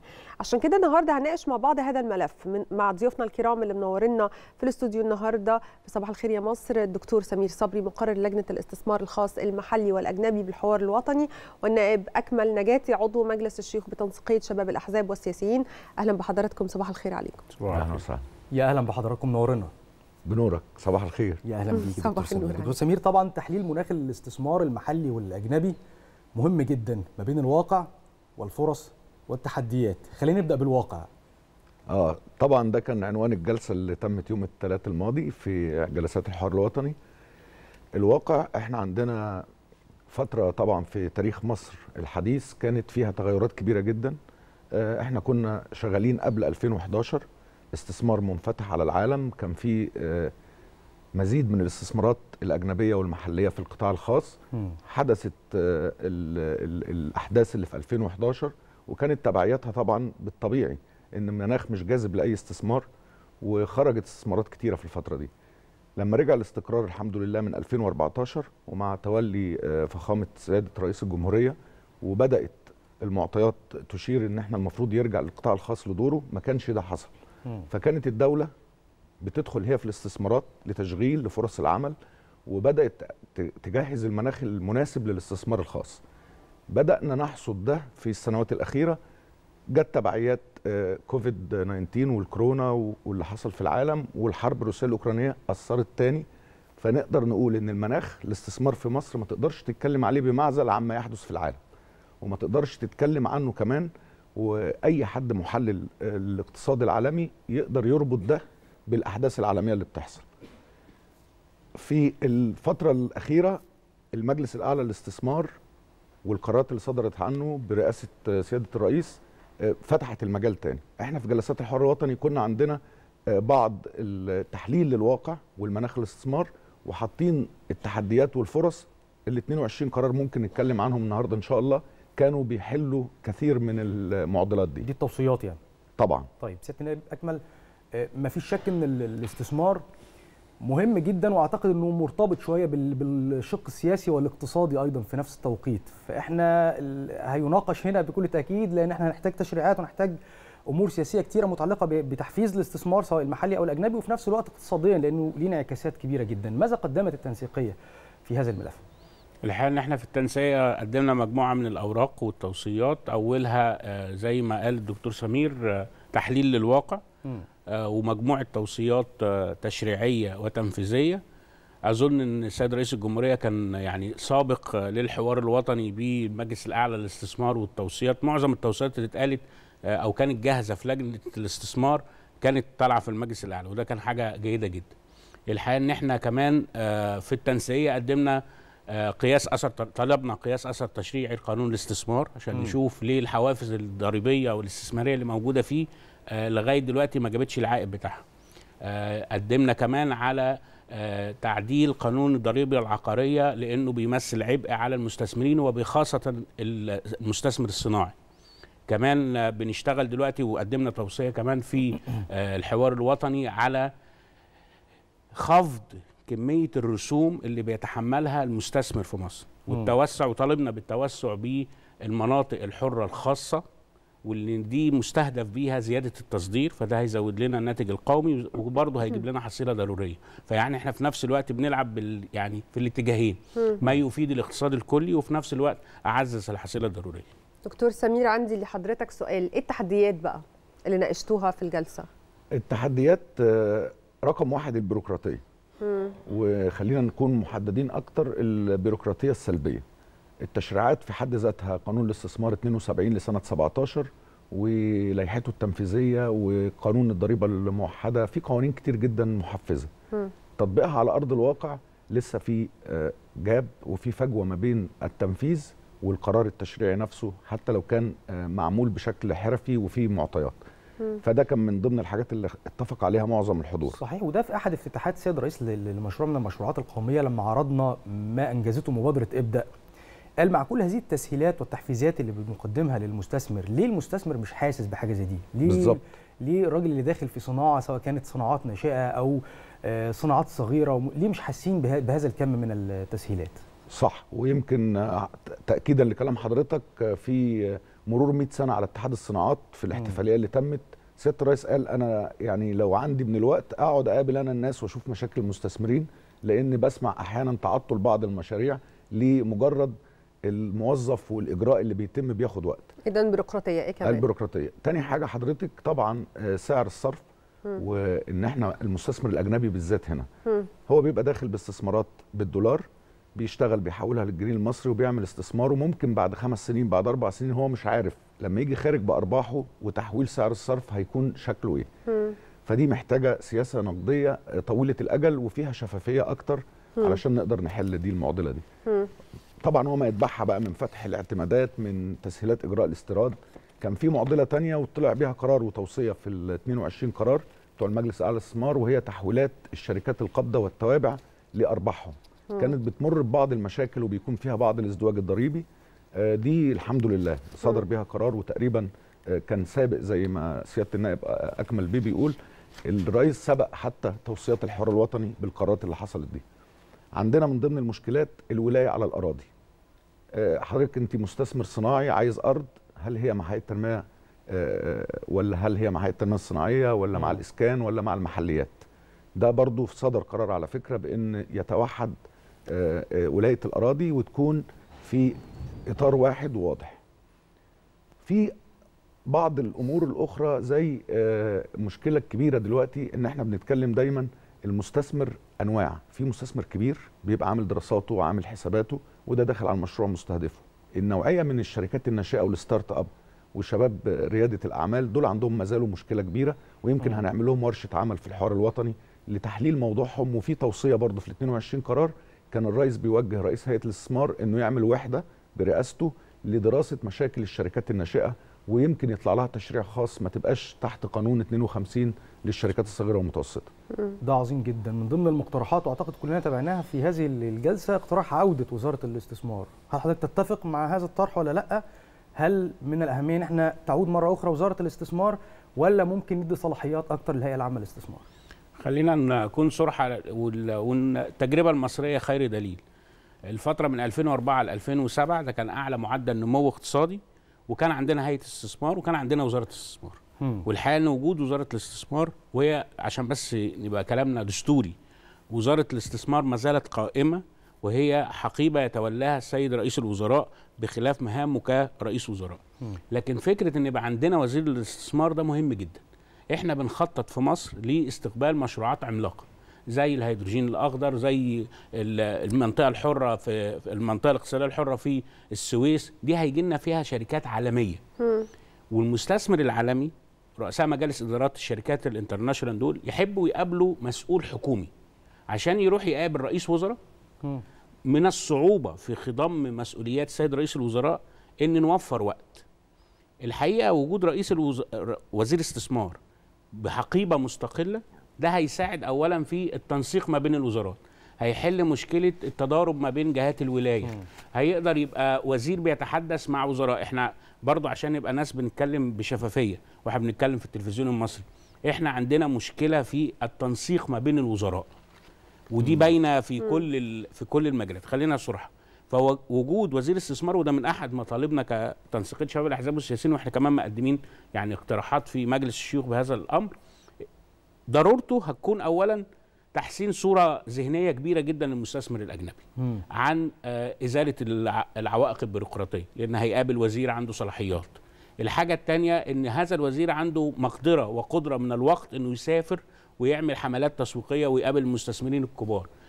الهيئة مكبلة الحقيقة هيئة الاستثمار ما أصبحتش هيئة الاستثمار اللي إحنا نعرفها من 2004 و2007 حتى لغاية 2009 ال- الظروف وتعاقب يعني المديرين التنفيذيين عليها آه، باختلاف آرائهم وخبراتهم أثرت على أداء هذه الهيئة. يمكن القيادة الحالية المهندس سميبه عامل مجهود كبير وهو رجل يعني آه، ذو رؤية. لكن الحقيقة الصلاحيات. آه الصلاحيات ووجود آه وزير استثمار هيساعدنا جدا وهيفك التشابكات ما بين جهات الولاية وكمان هيوفر لنا صورة ذهنية جديدة عن الاستثمار في مصر. وإحنا محتاجينها ولازم نحط في عينينا آه وفي دماغنا جدا إن إحنا عندنا منافسة إقليمية كبيرة جدا من دول على مسافات قصيرة مننا يعني دولة المملكة العربية السعودية الشقيقة آه الإمارات. المغرب الأردن داخلة في المنافسة فأنا لازم أبقى بحط لنفسي استراتيجية ويبقى عندي سياسة وطنية للاستثمار بيحاول ينفذها وزير الاستثمار. ولازم يبقى عندي هدف إن أنا بنمي الاستثمار المحلي والأجنبي في مصر وبستهدف سوق افريقيا لأن ما حدش يقدر يخش افريقيا قد مصر مم. طب هل إحنا لسه بحاجة لزيادة حوافز للمستثمرين إن هم يجوا يستثمروا عندنا. بنتكلم عن أجانب ومحليين كمان. أنا وجهة نظري يعني الحقيقة إن إحنا بس نحقق الحوافز اللي موجودة والناس ياخدوها وهي كافية. يعني إحنا عندنا حوافز استثمار وأظن إن إحنا لما جربنا والسيد الرئيس تدخل بنفسه مم. وقال الرخصة الذهبية. والناس خدت الرخصة الذهبية إحنا مجرد ما قلنا إن الرخصة الذهبية بدأت تمنح للشركات إحنا حققنا 12 شركة في أقل من شهر. مم. وده من أهم الحوافز الضريبية لأن ال- ال- الرخصة الذهبية يتبعها حوافز استثمارية كبيرة فده معناه إن الحوافز موجودة والمستثمرين محتاجينها بس تتنفذ بعيدا عن البيروقراطية الخاصة بالموظفين دكتور سمير رأيك إيه آه، في موضوع وزارة هل إحنا لسه يعني محتاجين نزود حوافز طيب. ولا لو إحنا إحنا بس محتاجين نطبق الحوافز الموجودة بالفعل طيب في كل تجارب العالم وفي التاريخ الاقتصادي للعالم مم. مفيش استثمار بيجي بدون حوافز مم. والاستثمار دايما علشان أقدر أنمي معدلاته أنا ممكن أحافظ عليه وده اللي بيحصل في مصر. إحنا تقريبا مصر الأولى افريقيا في جذب الاستثمار الأجنبي آه، المباشر بقالنا ثلاث أو أربع سنين وإحنا الثاني عربيا. ولكن الرقم مش كافي لحجم النمو السكاني اللي بيحصل. إحنا محتاجين نزود الرقم ده شوية. فما فيش استثمار بدون حوافز. ولو الحوافز القائمة ما بتقدرش تشجع لازم أشوف هل لقلتها أو لقلة تنفيذها وتطبيقها وطرحها للمستثمرين. وزي ما كده تفضل سيادة النائب فعلا أنا عندي ثلاث مواد في قانون الاستثمار 72 لسنة 17 مادة 40 41 42 بينصوا على الرخصة الذهبية. لم يفعلوا مع أي شركة إلا لما سيادة الرئيس تدخل وقال عايزين نفعل الرخصة الذهبية. وصلنا ل 12 شركة. آه، الجديد بقى في الاجتماع الأخير للمجلس الأعلى للاستثمار إن الرئيس إدى أوامر وتوجيه إن ننزل بالرخصة الذهبية لمستويات أقل لأن هي بس بتستهدف المشروعات الضخمة ورؤوس الأموال الكبيرة والمشروعات غير المسبوقة. النهارده إحنا عايزين ننزل شركات بفلسفتها النشأة. ننزل بفلسفتها ونوصل للشركات الناشئة تبقى داخلة تحت مظلة الرخصة الذهبية. طيب أنا محتاج حوافز. دي نقطة مهمة جدا هتكلم فيها. هل الحوافز على المطلق؟ يعني أقول حوافز ضريبية لأي مكان لأي قطاع؟ آه لأ. الاقتصاد وحاليا بالذات very dynamic بيتحرك بسرعة جدا في العالم كله مم. أنا عايز مشروعات بعينها بستهدفها عايز مناطق جغرافية في مصر بستهدفها محافظات عايز أعمل فيها طفرة وتنمية فأقدر أطلع ومن هنا دور وزارة الاستثمار أو الهيئة العامة للاستثمار مع كل الحكومة أقدر أحط كل فترة الحوافز الضريبية للمحافظة دي أو للصناعة دي أو لنوع ده من الزراعة مم. يعني زي القمح لما بدأنا نسعر سعر يعني في آه، حافز للمزارع. حصل طفرة في زراعة القمح قللت الفجوة في الاستيراد. هو ده. هل ده السعر ده ممكن يتحط بيه قرار يقعد سنة واتنين؟ لا ده أنا من موسم لموسم لازم يكون في تغيير. نفس الكلام في كل حوافز الاستثمار. عظيم جدا. سيادة النائب لما نيجي نتكلم عن المناطق الصناعية هي بكل تأكيد مهمة جدا منطقة صناعية مجهزة بكل المرافق والخدمات. المتخصصة في في كافة المجالات أعتقد يعني ممكن أي صناعات بتلاقيها موجودة في هذه المنطقة الصناعية بحسب طبعا طبيعة كل محافظة وكده. طبيعة التسهيلات اللي ممكن تقدم لحد إنه يدخل هذه المنطقة من الاقتصاد الغير رسمي. يعني مثلا هنضرب مثال بالمنطقة منطقة الأساس أو مدينة الأساس في في دمياط. الناس هناك بتصنع وإحنا عارفين الناس هناك بتصنع عبارة عن أوض في بيوتهم بيصنعوا في غرف بيصنعوا في عشش. فعشان أخليه ينتقل من هذه الطريقة في التصنيع إلى ال- المدينة اللي أنا اعملها له المدينة الصناعية لازم أقدم له تح... يعني حاجات تحفزه إن هو ينتقل لأن هو بالمناسبة ما بيدفعش أي رسوم ما بيدفعش ضرائب ما... ما فيش عليه أي نوع من أنواع الالتزامات. فإيه يخليه يدخل هذه المنطقة ويدخل في الاقتصاد الرسمي إلا لو قدمت له تحفيزات وتسهيلات؟ وبالمناسبة مش سنة سنتين ده أكتر على ما أعتقد يعني.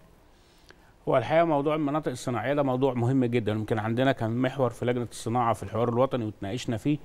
وكان آه، رئيس هيئة التنمية الصناعية موجود يمكن دار سجال كبير جدا على دور الهيئة وتخصيصها للأراضي والأسعار وخلافه.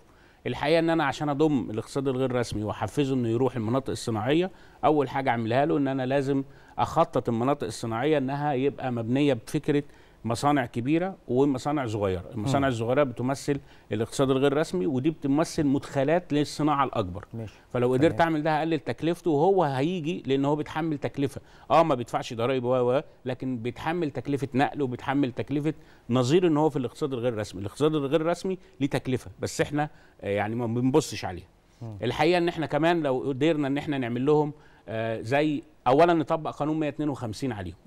يخليهم يتمتعوا بالحوافز الضريبية اللي موجودة في قانون 152 وهي ضريبة قطعية. ودي من أهم الميزات. إن أنا أساعد المصنعين الصغار اللي بيدخلوا المنطقة الصناعيه إنه يبقوا عندهم جزء جزء من الحصة التصديرية.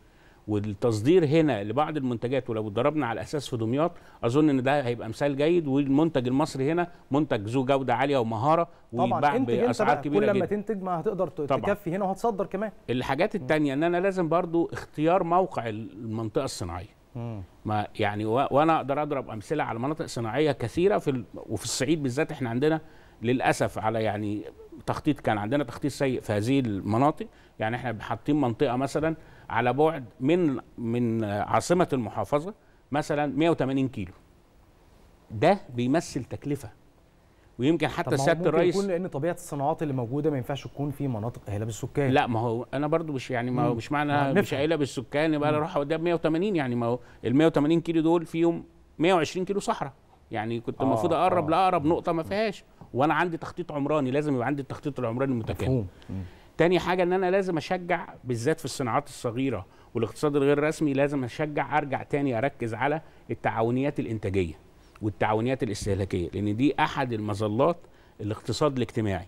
بتدي له حوافز ضريبية وبيشتغل بفكرة ال- المجتمع المنتج. فبتقدر هي كمان تضم تحتها مجموعة من المصنعين أو التجار الصغيرين وتقدر هي كجمعية إنها تنافس مع الشركات الأكبر. أظن ده من الحلول اللي إحنا لو قدرنا نعملها مع المناطق الصناعية. تاني حاجة في المناطق الصناعية يجب في مراعاة تخطيطها إن إحنا نحط فيها أو نوفر فيها بعض المزايا الاجتماعية للمرأة العاملة. لأن المناطق الصناعية البعيدة بتخلي مفيش عمالة مرأة وإحنا بنستهدف في مصر إن إحنا نزود مشاركة المرأة في حصة العمل. ده مهم جدا. فإحنا عندنا مجموعة يعني إيه زي ما بنقول إيه إحنا عندنا لوحة كده مليانة بازل فما تقدرش تحط حتة قبل حتة فلازم مم. نشتغل بطريقة استراتيجية. يمكن ده فايدة الحوار الوطني ويمكن حتى يعني صديقي العزيز الدكتور سمير وهو بيدير الحوار كان دايما بيحب يقول للناس طب ماشي الحل ده فاني حتة نكمل بيه إيه؟ التكامل ده أظن وده ما فيهوش اختلاف ايديولوجي سياسي. يعني إحنا مش هنختلف كأحزاب سياسية لأن الاستثمار ده كلنا رايحين له. آه يعني بقى إن في ناس تبص في البعد الاقتصادي الاجتماعي طب الضريبة تبقى تصاعدية. يعني دي نقط خلافية بعيدا عن فكرة الاستثمار وجذب الأموال. مفهوم. دكتور سمير يعني إحنا اتكلمنا المختصين عرفنا المختصين والناس اللي فاهمة اقتصاد كويس وفاهمة إزاي آه، نخلي المناخ في مصر جاذب للاستثمار. الناس الناس العادية اللي زينا بقى اللي بعتوا مثلا اقتراحات اقتراحاتهم عاملة إزاي وازاي تمت مناقشتها في هذا الملف؟ والله بالعكس آه، أنا اكتشفت من الحوار الوطني ده وإحنا شغالين بقالنا فترة نجهز يعني اما طلعنا كده كان نتيجة جهد طويل. آه، الناس فاهمة. يعني المصريين بجد والله دي شهادة. فاهمين كويس قوي الأوضاع. المقترحات اللي جاية حتى من شباب ومن ناس بسيطة ومن أصحاب حرف يدوية وبيقولوا بيعرفوا بنفسهم على ال website بتاع الحوار الوطني. الناس بتتكلم في إيه؟ بتتكلم شغلونا سهلوا لنا مناخ الأعمال. إحنا. عايزين نشتغل بنصطدم أحيانا بالرخصة بنصطدم أحيانا بإن أنا شغال أنا مش رسمي. عايز أروح أكون رسمي الناس بتخوفني. التجارب اللي قبلي بتقول لي خلي بالك هتلاقي الضرايب وهتلاقي تفتيش وهتلاقي وهتلاقي أنت كده شغال ومحدش شايفك. ولكن آه أنا لو رحت استهدفت الاقتصاد غير الرسمي ودخلته لازم أديله حافز. لازم أقول له أنت لما تكون مسجل هتاخد ميزة من عندي. هو حاليا مش شايف الميزة دي شايف العيب بس. فاللي عايز أقول لحضرتك المقترحات اللي جت في ناس طبعا كانت بتخلط الأمور شوية آه، يوجهوا لنا أسئلة في لجنة الاستثمار الخاص المحلي والأجنبي ويتكلموا على الغلاء. ناس كتير. كده. فكنا بنوجهها في لجنة في الحوار الوطني للتضخم وغلاء الأسعار. بس فعلا هو في ارتباط كبير. أنا آه، أي حل للمشكلة الاقتصادية في أي دولة محتاج استثمارات زيادة محتاج صادرات. لو حضرتك رجعت تاريخ تقدم الشعوب والأمم الاقتصادي وقعدت تذاكر هتلاقي مفيش دولة حصل فيها نقلة كبيرة غير بزيادة صادراتها إحنا مستهدف ال 100 مليار دولار. كنا زمان بنقول إن ده حلم التصدير 100 مليار دولار وأطلقه سيادة الرئيس منذ ثلاث سنوات. أنا شايف النهارده بقى ضرورة مش حلم. مم. أنا لازم أكون عندي ال 100 مليار دولار سريعا ولازم كل ال ال ال التنفيذيين بقى سواء كانوا وزراء أو رؤساء هيئات كل واحد في منطقته مع لوحة استراتيجية. مين بيساعد مين عشان نوصل لده؟ الصناعة عليها دور كبير جدا الصناعة التحويلية عليها دور كبير جدا. صناعة التعدين الثروة السمكية وعندنا فيها فرص واعدة و... وأيضا الزراعة النهارده مع تكنولوجيا المعلومات مع صناعة البرمجيات. حضرتك أنا ضربت مثال في الجلسة حتى قلت يا جماعة الهند بتصدر ب 150 مليار دولار برمجيات فقط. مم. يشتغل فيها 5 مليون مواطن. أنا عندي حلم وفكرة وبنصيغها دلوقتي في الحوار الوطني. أنا عندي 27 محافظة. أنا محتاج في كل محافظة قرية ذكية. السمارت فيليج دي تبدأ دلوقتي. وزارة تكنولوجيا المعلومات مع وزارة الصناعة والتجارة مع هيئة الاستثمار يتشاركوا إن إحنا نعمل الهاب ده. وزارة التعليم والبحث التعليم العالي والبحث العلمي. أنا الشباب اللي بيتخرجوا من آداب وتجارة وحقوق ومش لاقيين فرصة عمل. مم. ده عبء على الأسرة المصرية. لو دخل بالشراكة مع الشركات العالمية في البرمجيات وأهلنا الشباب ده بسرعة من اللغة ومن البرمجيات أو الابلكيشن أو الموبايل آب. هيطلع عندي كام أيدي عاملة في هذا المجال وهعمل كمان صناعة التعهيد. صناعة التعهيد دي مصر ممكن تدخلها صحيح. وفي فرصة ذهبية. أعمل outsource أعمل ال call center للشركات العالمية. ما زالت المرتبات عندنا جاذبة للمستثمر. ما زال ال- الشاب المصري عنده ال- ال- ال base اللي تبني عليه. مم. إحنا الحمد لله شبابنا بخير.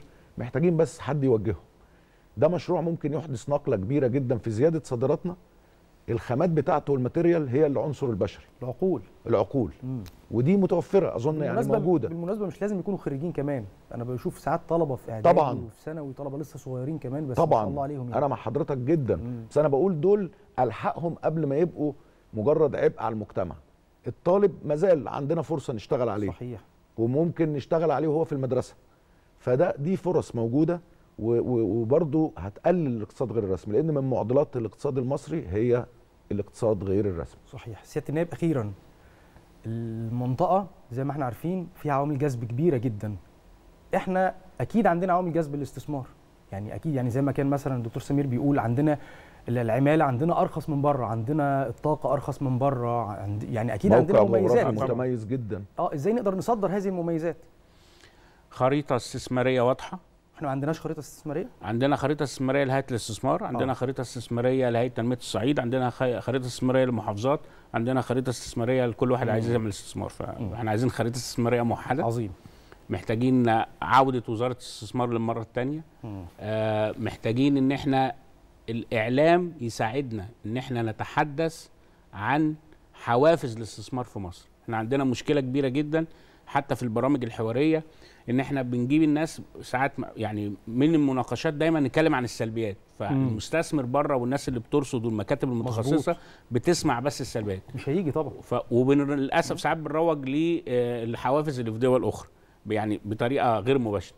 فده لازم نراعيه. يبقى عندنا أجندة وطنية إعلامية للترويج لحوافز ال- الحوافز الاستثمارية اللي موجوده في مصر ومواردنا.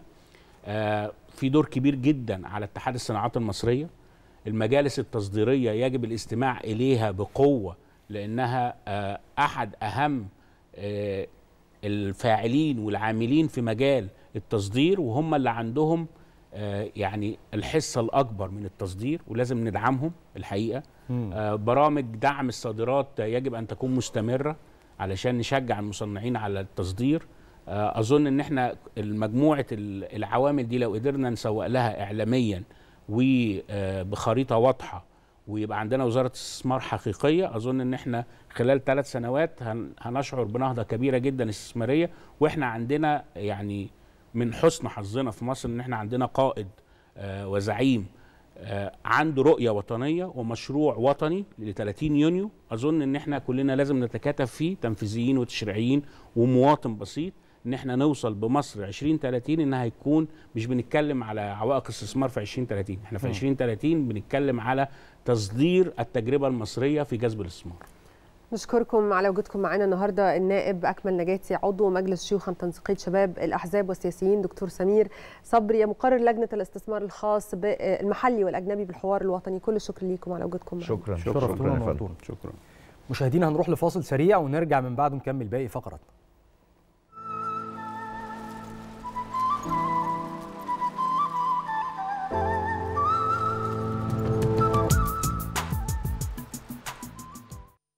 يعني ده كان لقاء آه، أجرته طبعا سيدة الشاشة العربية فاتن حمامة سنة 1964 مع التلفزيون الفرنسي. وزي ما إحنا شايفين ويمكن كنا بنتكلم عنها قمة في الرقي والجمال والشياكة ويعني ليدي زي ما اتكلمنا عنها في البداية. ويمكن ده اللي هي مثلته مش بس لينا كسيدات مصريات وإحنا بنتفرج عليها لكن كمان ب إجادتها للغات بهذه خليني أقول إتقانها للغات دي خلتها آه، تدي صورة عن السيدات المصريات إيجابية جدا. سألنا حضراتكم على صفحتنا على فيسبوك إيه أكتر الأفلام آه، بتحبوها آه، لسيدة الشاشة العربية في ذكرى ميلادها ال 92 وخلونا نستعرض بعض من إجابات حضراتكم بيبو بوب بيقول من أحلى أفلام الفنانة فاتن حمامة الخيط رفيع هي يعني جسدت شخصية سيئة السمعه لكن بمنتهى الاحترام والرقي. استاذه عبله علي بتقول كلها على بعضها. هي فعلا كلها على بعضها جميلة فعلا ده حقيقي. أستاذ توفيق صبحي بيقول فيلم أفواه وأرانب آه، بتعالج الكثافة السكانية الرهيبة. عزيزه حميدة بتقول فاتن حمامة بتتحب حتى من غير ما تمثل. إنها فتاة مصرية جميلة عبد العزيز حميدة من اسكندرية. عبد الله مقلب بيقول له صحيح تحس كده إنك عارفها. حقيقي يمكن ده كان بعض من إجابات حضراتكم وده رأي الناس. خلينا نشوف بقى رأي النقاد عنها إيه. يعني كان لازم النهارده نتكلم عن قوة تأثير سيدة الشاشة العربية في السينما المصرية وإزاي صناعة السينما قدرت إنها تستفيد من هذه الموهبة القوية واللي حققت معادلة الإبداع والإبهار طول مشوارها الفني. عندنا تفاصيل كتيرة طبعا هيقول لنا عنها المؤرخ الفني الأستاذ محمد شوقي اللي معانا دلوقتي على التليفون. يا أستاذ محمد صباح الخير. صباح الخير يا أستاذ محمد وصباح الخير يا أستاذة بسنت يا أهلا بحضرتك. عايزين في البداية نعرف إيه المحطات الفنية اللي مرت بيها الفنانة العظيمة فاتن حمامة عشان تصل في النهاية لأنها تكون سيدة الشاشة العربية. طبعا هي سيدة الشاشة العربية فاتن حمامة حالة فنية استثنائية.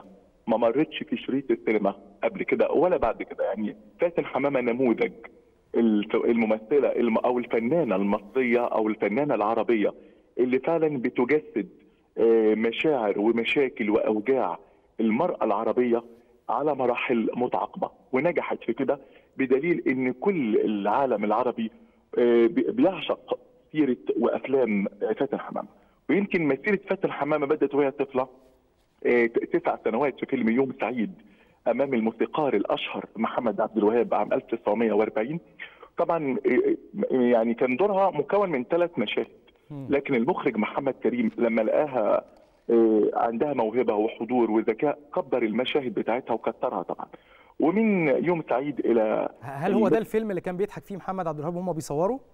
هو فعلا أنا عايز أقول طرفة جميلة قوي يا أستاذ محمد إن كانت آه، لما بتشوف محمد عبد الوهاب يعني هي وهي بتمثل قدام الكاميرا فكان عبد الوهاب واقف واقف مع كل ال- الصف العمل فكان بيضحكوا من طريقة أدائها لأن كانت تعتبر أول طفلة في تاريخ السينما يعني. فكانت لما تشوف عبد الوهاب بيضحك توقف التصوير وتقول للمخرج محمد كريم خرجوا بره ده مش بيشوشر عليا. ليه شوشر عليا. فكانت فكانت يعني أخذت الكلمات دي كلها من من من حوار من الحوار والكلام اللي بيتقال حواليها. فكان فكان من الطرف الجميلة. حتى إن محمد عبد الوهاب جاب جاب لها لعب يعني هي بتقول فضلت محتفظة بلعبة منهم لغاية آخر يوم في عمرها. من كتر اللعب كانت بتيجي لها من محمد عبد الوهاب ومحمد كريم قصه الفيلم كله. إيه اللي ميز سيدة الشاشة العربية عن باقي آه، جيلها؟ يعني هي آه، كانت موجودة في وقت فيه عمالقة ك- كبار وكلهم يحترموا كلهم فن كبير كلهم أثروا فينا. إزاي قدرت إن هي آه، مش بس إن هي تتميز لأ تكون ليها مكانة معينة لغاية آخر يوم في عمرها لغاية وفاتها في 2015 لغاية النهاردة كلنا بنتكلم عنها محفورة في ذهننا بشكل معين إزاي قدرت تعمل ده؟ احترمت عقلية المشاهد. مم. السيدة فاتن حمامة كانت بتتمتع بالذكاء الفني اللي تقدر فيه.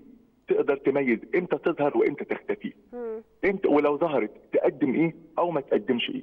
حتى إن إحنا بنشوف حواراتها التلفزيونية أو الإذاعية أو نا- نادرة جدا. هي كانت بت- بتشوف أو كانت بتحب تكون قوي تحترم عقلية المشاهد. وت- و- و- وتقدم له كل ما هو مهم مش مجرد الظهور فقط. وكانت وجسدت كل الشخصيات اللي فعلا أثرت تأثير إيجابي على كل شرائح المجتمع المختلفة. فأدى طبعا لإحترام وحب وجماهيرية الجماهيرية عريضة لها لأن هي كانت بتختار نموذج معين. النموذج ده حتى لو اختلفت الأدوار أو تنوعت الأدوار لكن في إطار النموذج ال- البنت الشرقية المحافظة آه، اللي تحترم التقاليد والعادات.